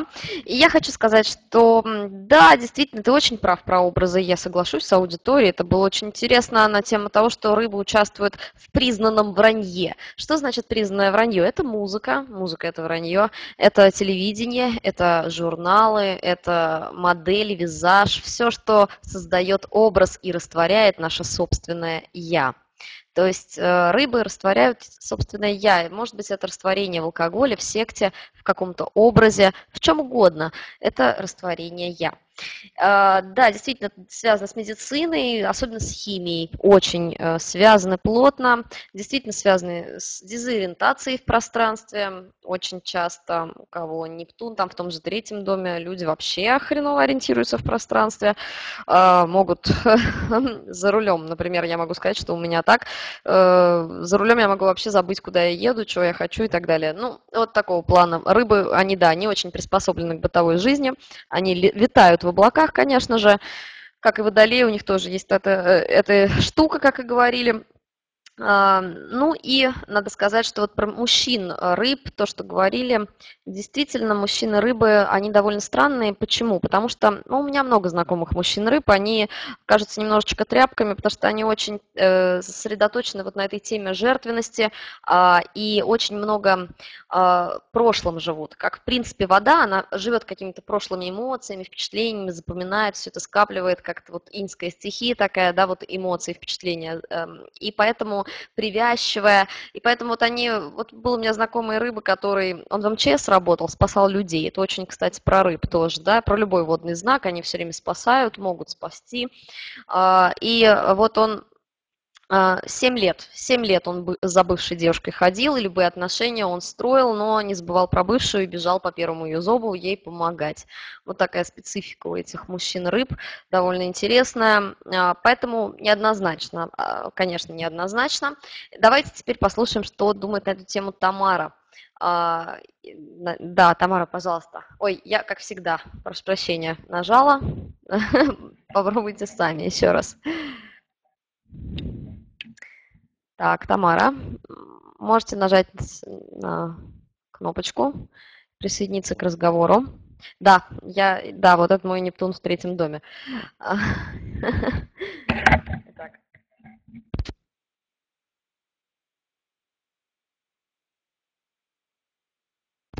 Э, мы слышим, да, вот вижу, мигает лампочка, то есть можете говорить. Слышно? Слышно? Да, все прекрасно слышно. Хорошо.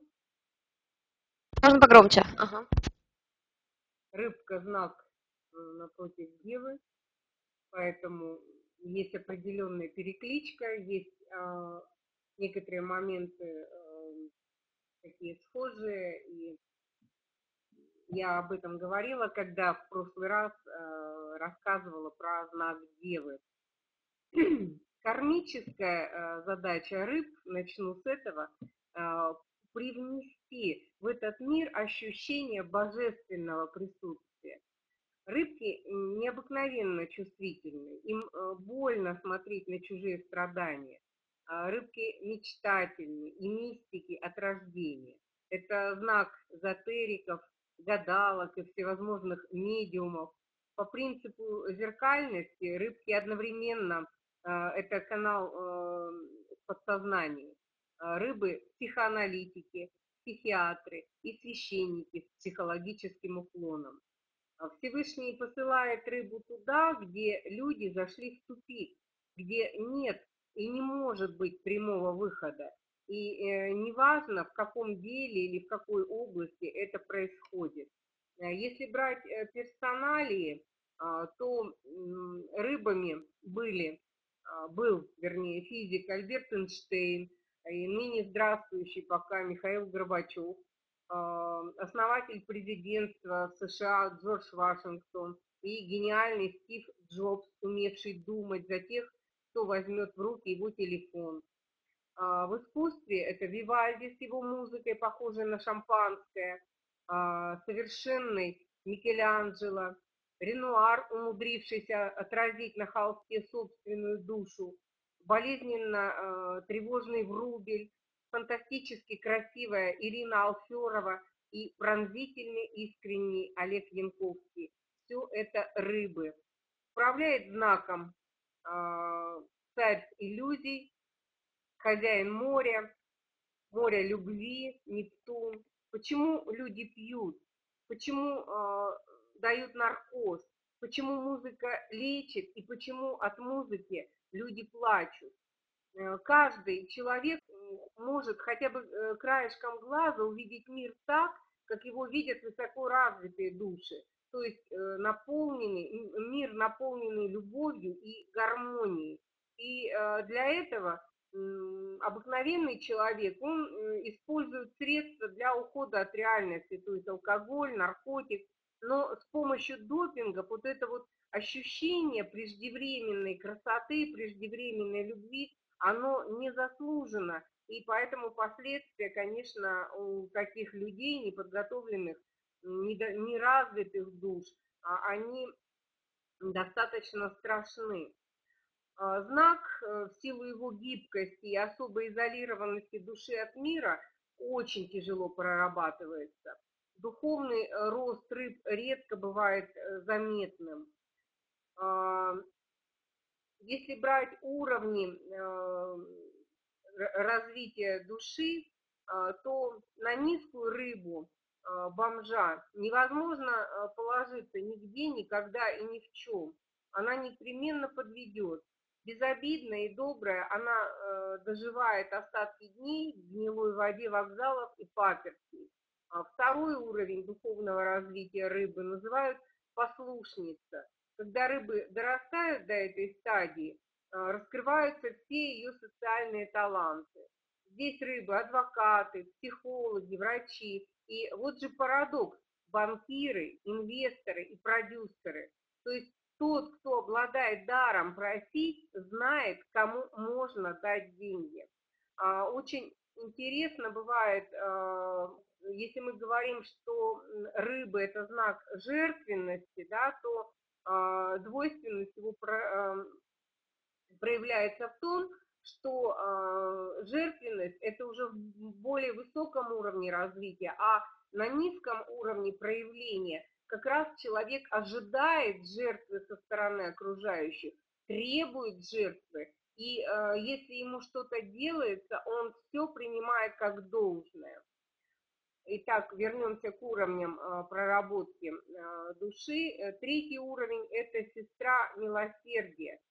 Э, то есть э, достигшая той стадии, при которой э, человек понимает, что все в этом мире устроено Богом, и мы ведомы им, рыба как раз и обретает вот этот статус, который можно назвать сестра милосердия. Э, реализованное э, призвание для рыбы – это возможность нести людям божественный свет и божественную любовь. Адвокат, становящийся для преступника единственным защитником, сестра милосердия в госпитале, священник у постели умирающего – это все предельные ситуации рыб и в них можно увидеть кармическую задачу быть проводником доверившихся душ в божественные сады любви.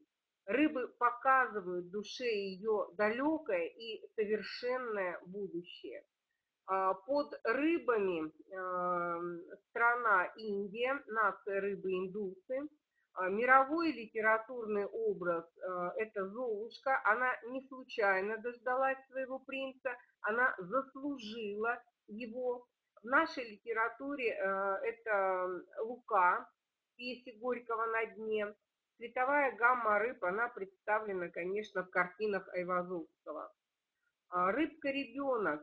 Если художнику нужно нарисовать ангела, то в качестве модели он выберет ребенка с сильным знаком рыб. Они олицетворение ангела, во всяком случае внешне. Ребенок долго не проявит своих трудных сторон, поэтому э, начнем именно с них. Легко начать разговаривать, он удивит своих родителей тем, что воспринимает язык не только на звук, но и на вкус, и этому способствует поразительная музыкальность знака, которая позволяет им в любом возрасте освоить любой язык без акцента. В душе рыбы звучит прекрасная музыка, часть, э, частью которой являются звуки языка. И никакой структуры, никакой present indefinite tense, структура вообще не самое сильное качество внутреннего э, мира рыбок, но э, ведь потребуется потом еще и правильно писать. И чем раньше вы обратите внимание на это обстоятельство, э, тем будет легче, потому что ЕГЭ, они э, одинаковы для всех 12 знаков зодиака. Как свидетельствует практика, рыбка очень трудно поддается воспитанию. Рыбы вырастут такими, какими вырастут, вне зависимости от ваших направленных усилий сформировать некоторый устраивающий вас образ. Это, конечно, не отменяет воспитательных задач родителей. А, например, рыбка, которую вы видите здесь и сейчас, вовсе не обязательно душой, а тем более мыслями находится тут. Душа рыбки живет большую часть времени в абсолютно неведомых просторах времени и пространства. Катюша говорила, что даже за рулем она улетает. У меня в рыбах вроде бы ничего нет, но, правда, смотрели мы по гелиоцентрической системе, там э, Венера моя попадает в знак рыб. Вот. И э, я тоже грешу тем, что за рулем э, я веду машину на автопилоте, а сама мыслями где-то витаю абсолютно. А, фантазия у э, рыб беспредельна, и желание уплыть от рутинных проблем неописуемо, поэтому рыбка плавает по дну, но поймаешь, ну не поймаешь ни одну, если она сама не захочет пойматься. А ловить между тем необходимо, потому что есть домашнее задание, есть в конце концов просто время, распорядок, режим. А, и выход один – совершать глубокие погружения вместе с ребенком. Вот думайте, как повседневные рутинные задачи погрузить в море, вместо того, чтобы вытаскивать рыб из их стихии. Даже способ обучения языкам, э, знания которых абсолютно необходимо для любого мутабельного знака, для рыб придуман особый. Это так называемое погружение. Заметьте, погружение, а не изъятие. Вот, уловите э, в этом ключ э, многих методик, то есть с помощью которых э, можно обучать э, деток рыбок. Чему э, учить? А, круг чтения, конечно, сначала сказки, которым у знака рыб совершенно особое отношение. По достижению отрочества это истории, в которых описан мир души, погруженный в сострадание. И здесь хоть граф Монте-Кристо, хоть Робинзон Крузо, обязательны танцы, обязательны занятия музыкой, картинной галереи подвести к картинам импрессионистов, после чего можно вести рыбку в художественную школу. И еще одно. У рыбок часто бывает странная, нестандартная реакция на медицинские препараты. Помните об этом. А, Рыбки-мужчины. Если вы спросите, случаются ли среди мужчин, родившихся под знаком рыб, такие как Рэмбо, в смысле символ мужества, отвечу, конечно. Брюс Уиллис как раз и есть самое, что ни на есть рыба. А как вам Чак Норрис, родившийся 10 марта? А вас не, убеж... не удивит тот факт, что и первый мужчина, полетевший в космос, Юрий Гагарин, и Валентина Терешкова, первая женщина, полетевшая туда же, это тоже рыбы. Но скажу вам по секрету, честно, если вам нужен боец и солдат, все же лучше поискать его среди знаков огня. Рыбы-мужчины рождаются не для этого. Беспокойство слабого пола понятно. А сможет ли мужчина рыбы быть опорой в семье? Сумеет ли он защитить и прокормить?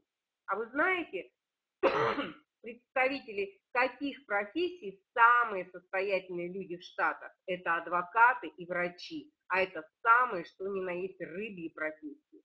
И, наконец, прибегая к собственному опыту, сдаю вам почти открытие гороскопов банкиров знак рыбы обязательно один из самых сильных знаков.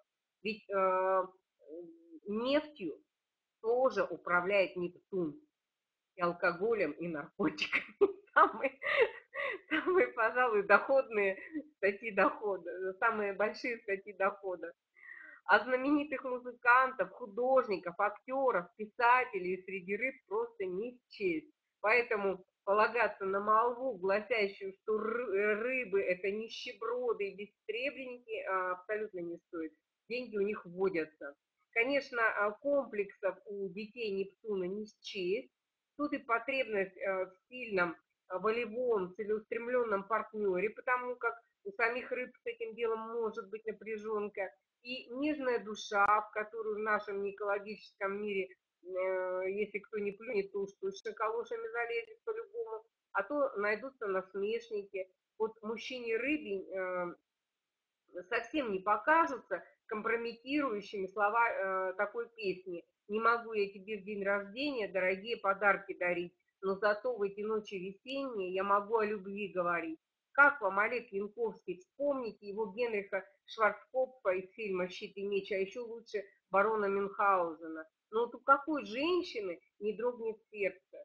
В песне, которую э, я привела в качестве примера, есть еще слова ключевые. Ты не думай, что я невнимательный, что цветы не бросаю к ногам. Я тебе в этот день замечательный свое верное сердце отдам. Вот это и есть самая сильная сторона знака рыб в его мужском воплощении. У него действительно верное и любящее сердце. А, рыбы женщины. А, все мы романтики, когда ночью у костра, а с утра не на работу. А вот так, чтобы э, жизнь оказалась э, подчинена романтизму свобод, ну, тут же. А женщина-рыбка, она именно такая. Например, Ассоль в алых парусах, Э, Александра Грина, символ романтизма, воплотившегося в реальность. И отец ведь у Ассоль был моряк, значит, и живет девочка там, где положено жить рыбкам, у моря. А, самое главное, самое важное – это способность ждать и верить, оберегая себя от грязи и случайностей, сохраняя себя для принца. В этой истории вся суть женщины-рыбы. Э, Существует европейский архетип женщины-рыбки – это Золушка или Синдерелла. И там тоже покорность, способность существовать в жестокой реальности, опираясь на богатство внутреннего мира. И там, а, опять же, принц. Знак рыб отвечает э, за ступни, а, ступня, ступни, а на лице за подбородок. А, у Золушки, ну и если вспомним а, знак Девы, то есть если Дева отвечает за кисти рук, то а, знак э, рыб отвечает за кончики пальцев, за подушечки пальцев, то есть за чувствительную зону. У Золушки были божественные ножки, крохотные ступни, э, таких не было ни у кого в сказочном королевстве. И вспомните, что я сказала в начале, что Э, Индия – это страна под знаком рыб, и только там, в этой стране, можно увидеть иконы, на которых изображены ноги, увитые цветами, украшенные кольцами, а, прославляемые как самый красивый, э, самая красивая часть человеческого тела.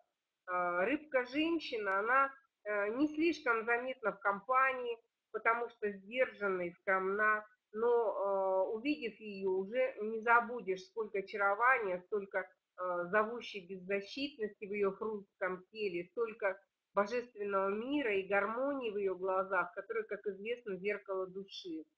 С детьми э, женщина-рыбы сумеет выстроить отношения полного доверия. Э, в первую очередь потому, что она никогда и никого не станет ломать и заставлять, но можете быть уверенными, что все, э, что высокого и духовного Господь заложил в ребенка, а женщиной-рыбкой будет поддержано и э, развито. А, и я сразу хочу завершить свое сегодняшнее выступление, попрощаться со всеми, поблагодарить за внимание и сказать, тем более, что мы завершили освещение знаков, э, рыбка 12, знак зодиака, а к какому бы знаку зодиака не принадлежали вы, а помните, мы сегодня говорили про уровни духовного развития, поэтому независимо от того, кто вы по солнечному знаку, необходимо постоянно учиться, постоянно развиваться. Нельзя стоять на месте, нужно расти, нужно ставить себе цели, а, добиваться, достигать их, Э, и э, необходимо становиться личностью, личностью, которая интересна для других людей. И тогда вы смотри, сможете рассчитывать на то, что вы э, добьетесь и, и всего, и э, всех, э, кого вы наметили. То есть вот когда а, приходит э, женщина, девушка на консультацию, очень часто, естественно, приходит с проблемой безбрачия, а, то прежде всего я стараюсь донести аккуратно вот эту мысль, а что вы сами из себя представляете, а вы интересный человек, вы интересная личность. То есть если вы себе хотите принца в своей жизни, а вы-то сама принцесса, то есть если вы хотите принца, старайтесь стать королевой. Вот. вот такие вот у меня пожелания. Всего доброго вам. И я надеюсь, что э, все у вас получится, если э, вы будете двигаться, а не будете сидеть в теплом и привычном болоте. Катюша, у меня все. Спасибо, Тамара, огромное, что почтили присутствие в нашей скромной беседы. Вот, очень было интересно слушать. Надеюсь, еще не последний раз вместе с нами побудете. А, вот, про рыб действительно было очень интересно. А, хочу сказать, что они действительно жертвуют очень много, но зачастую они жертвуют ради большинства людей, а, опять же, забывая, ну, чем дальше знак, тем меньше он думает о тех, кто близко, о тех, кто рядом. А, им жалко все человечество, но так не жалко человека, который рядом и которому бы стоило уделить внимание. Это я тоже про себя хочу сказать, у меня есть такая черта. Вот хочу сказать, что наши читатели говорили, что Дарина говорит, что про отношения друг рыбы встречался с девушкой не особо ценил, пробыли вместе года три, расстались, и все, понеслась партнершу, бывшую а, разидеализировал, уже как года три не вместе, но он до сих пор считает ее лучшей девушкой на земле, отношения не заводят. Да, это достаточно легко для рыб. А, был мальчик ухажера рыбы, говорит Мария, музыкант, для меня сильно творческая личность, оказался, приходилось а, вести отношения на себе, вот я и закончила их.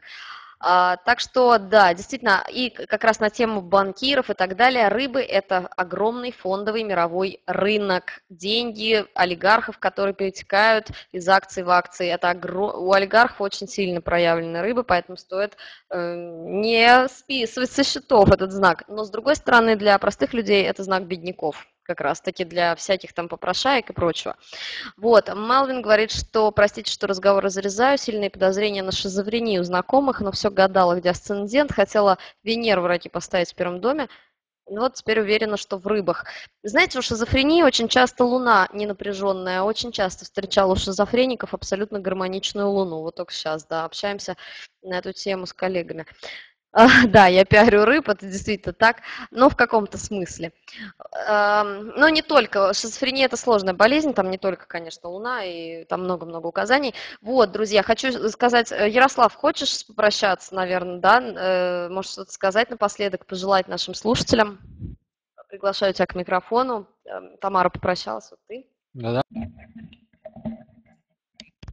Напоследок бы хотелось сказать, э, как и Тамара, действительно, есть разные проявления, есть разные знаки зодиака, есть разные домарные сети, есть разные планеты, конфигурации все остальное. По сути, на этом всем базируется вся астрология. Но многие придерживаются кредо, как и я, того, что астрология это не рок, это не строго начерченные рамки, в которых мы должны идти. Это зачастую подсказки и, и по, скажем так, карта, по которой мы можем идти, а которой не можем идти.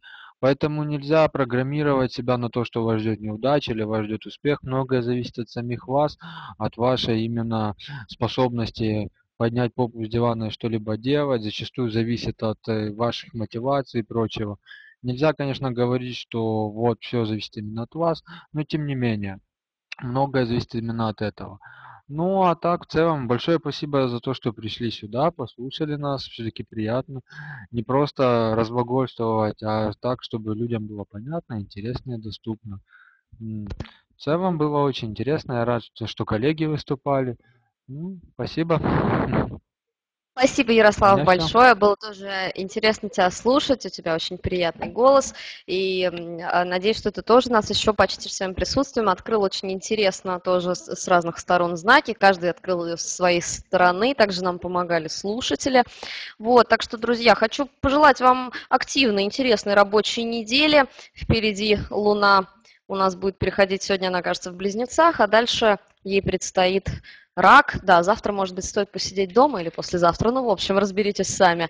Да, не, и помните, свобода выбора за вами. Какой этаж выбирать, знака или дома, это решаете только вы. Человеческая свобода выбора, никто ее никогда не отменял. Вас живет искра Божья. Вот, и Спасибо, что вы были с нами. До новых встреч. В воскресенье в 20.00 мы, как всегда, будем здесь. Приходите. Будем рады обсудить с вами этажи домов. Всего доброго. И напоследок музычка.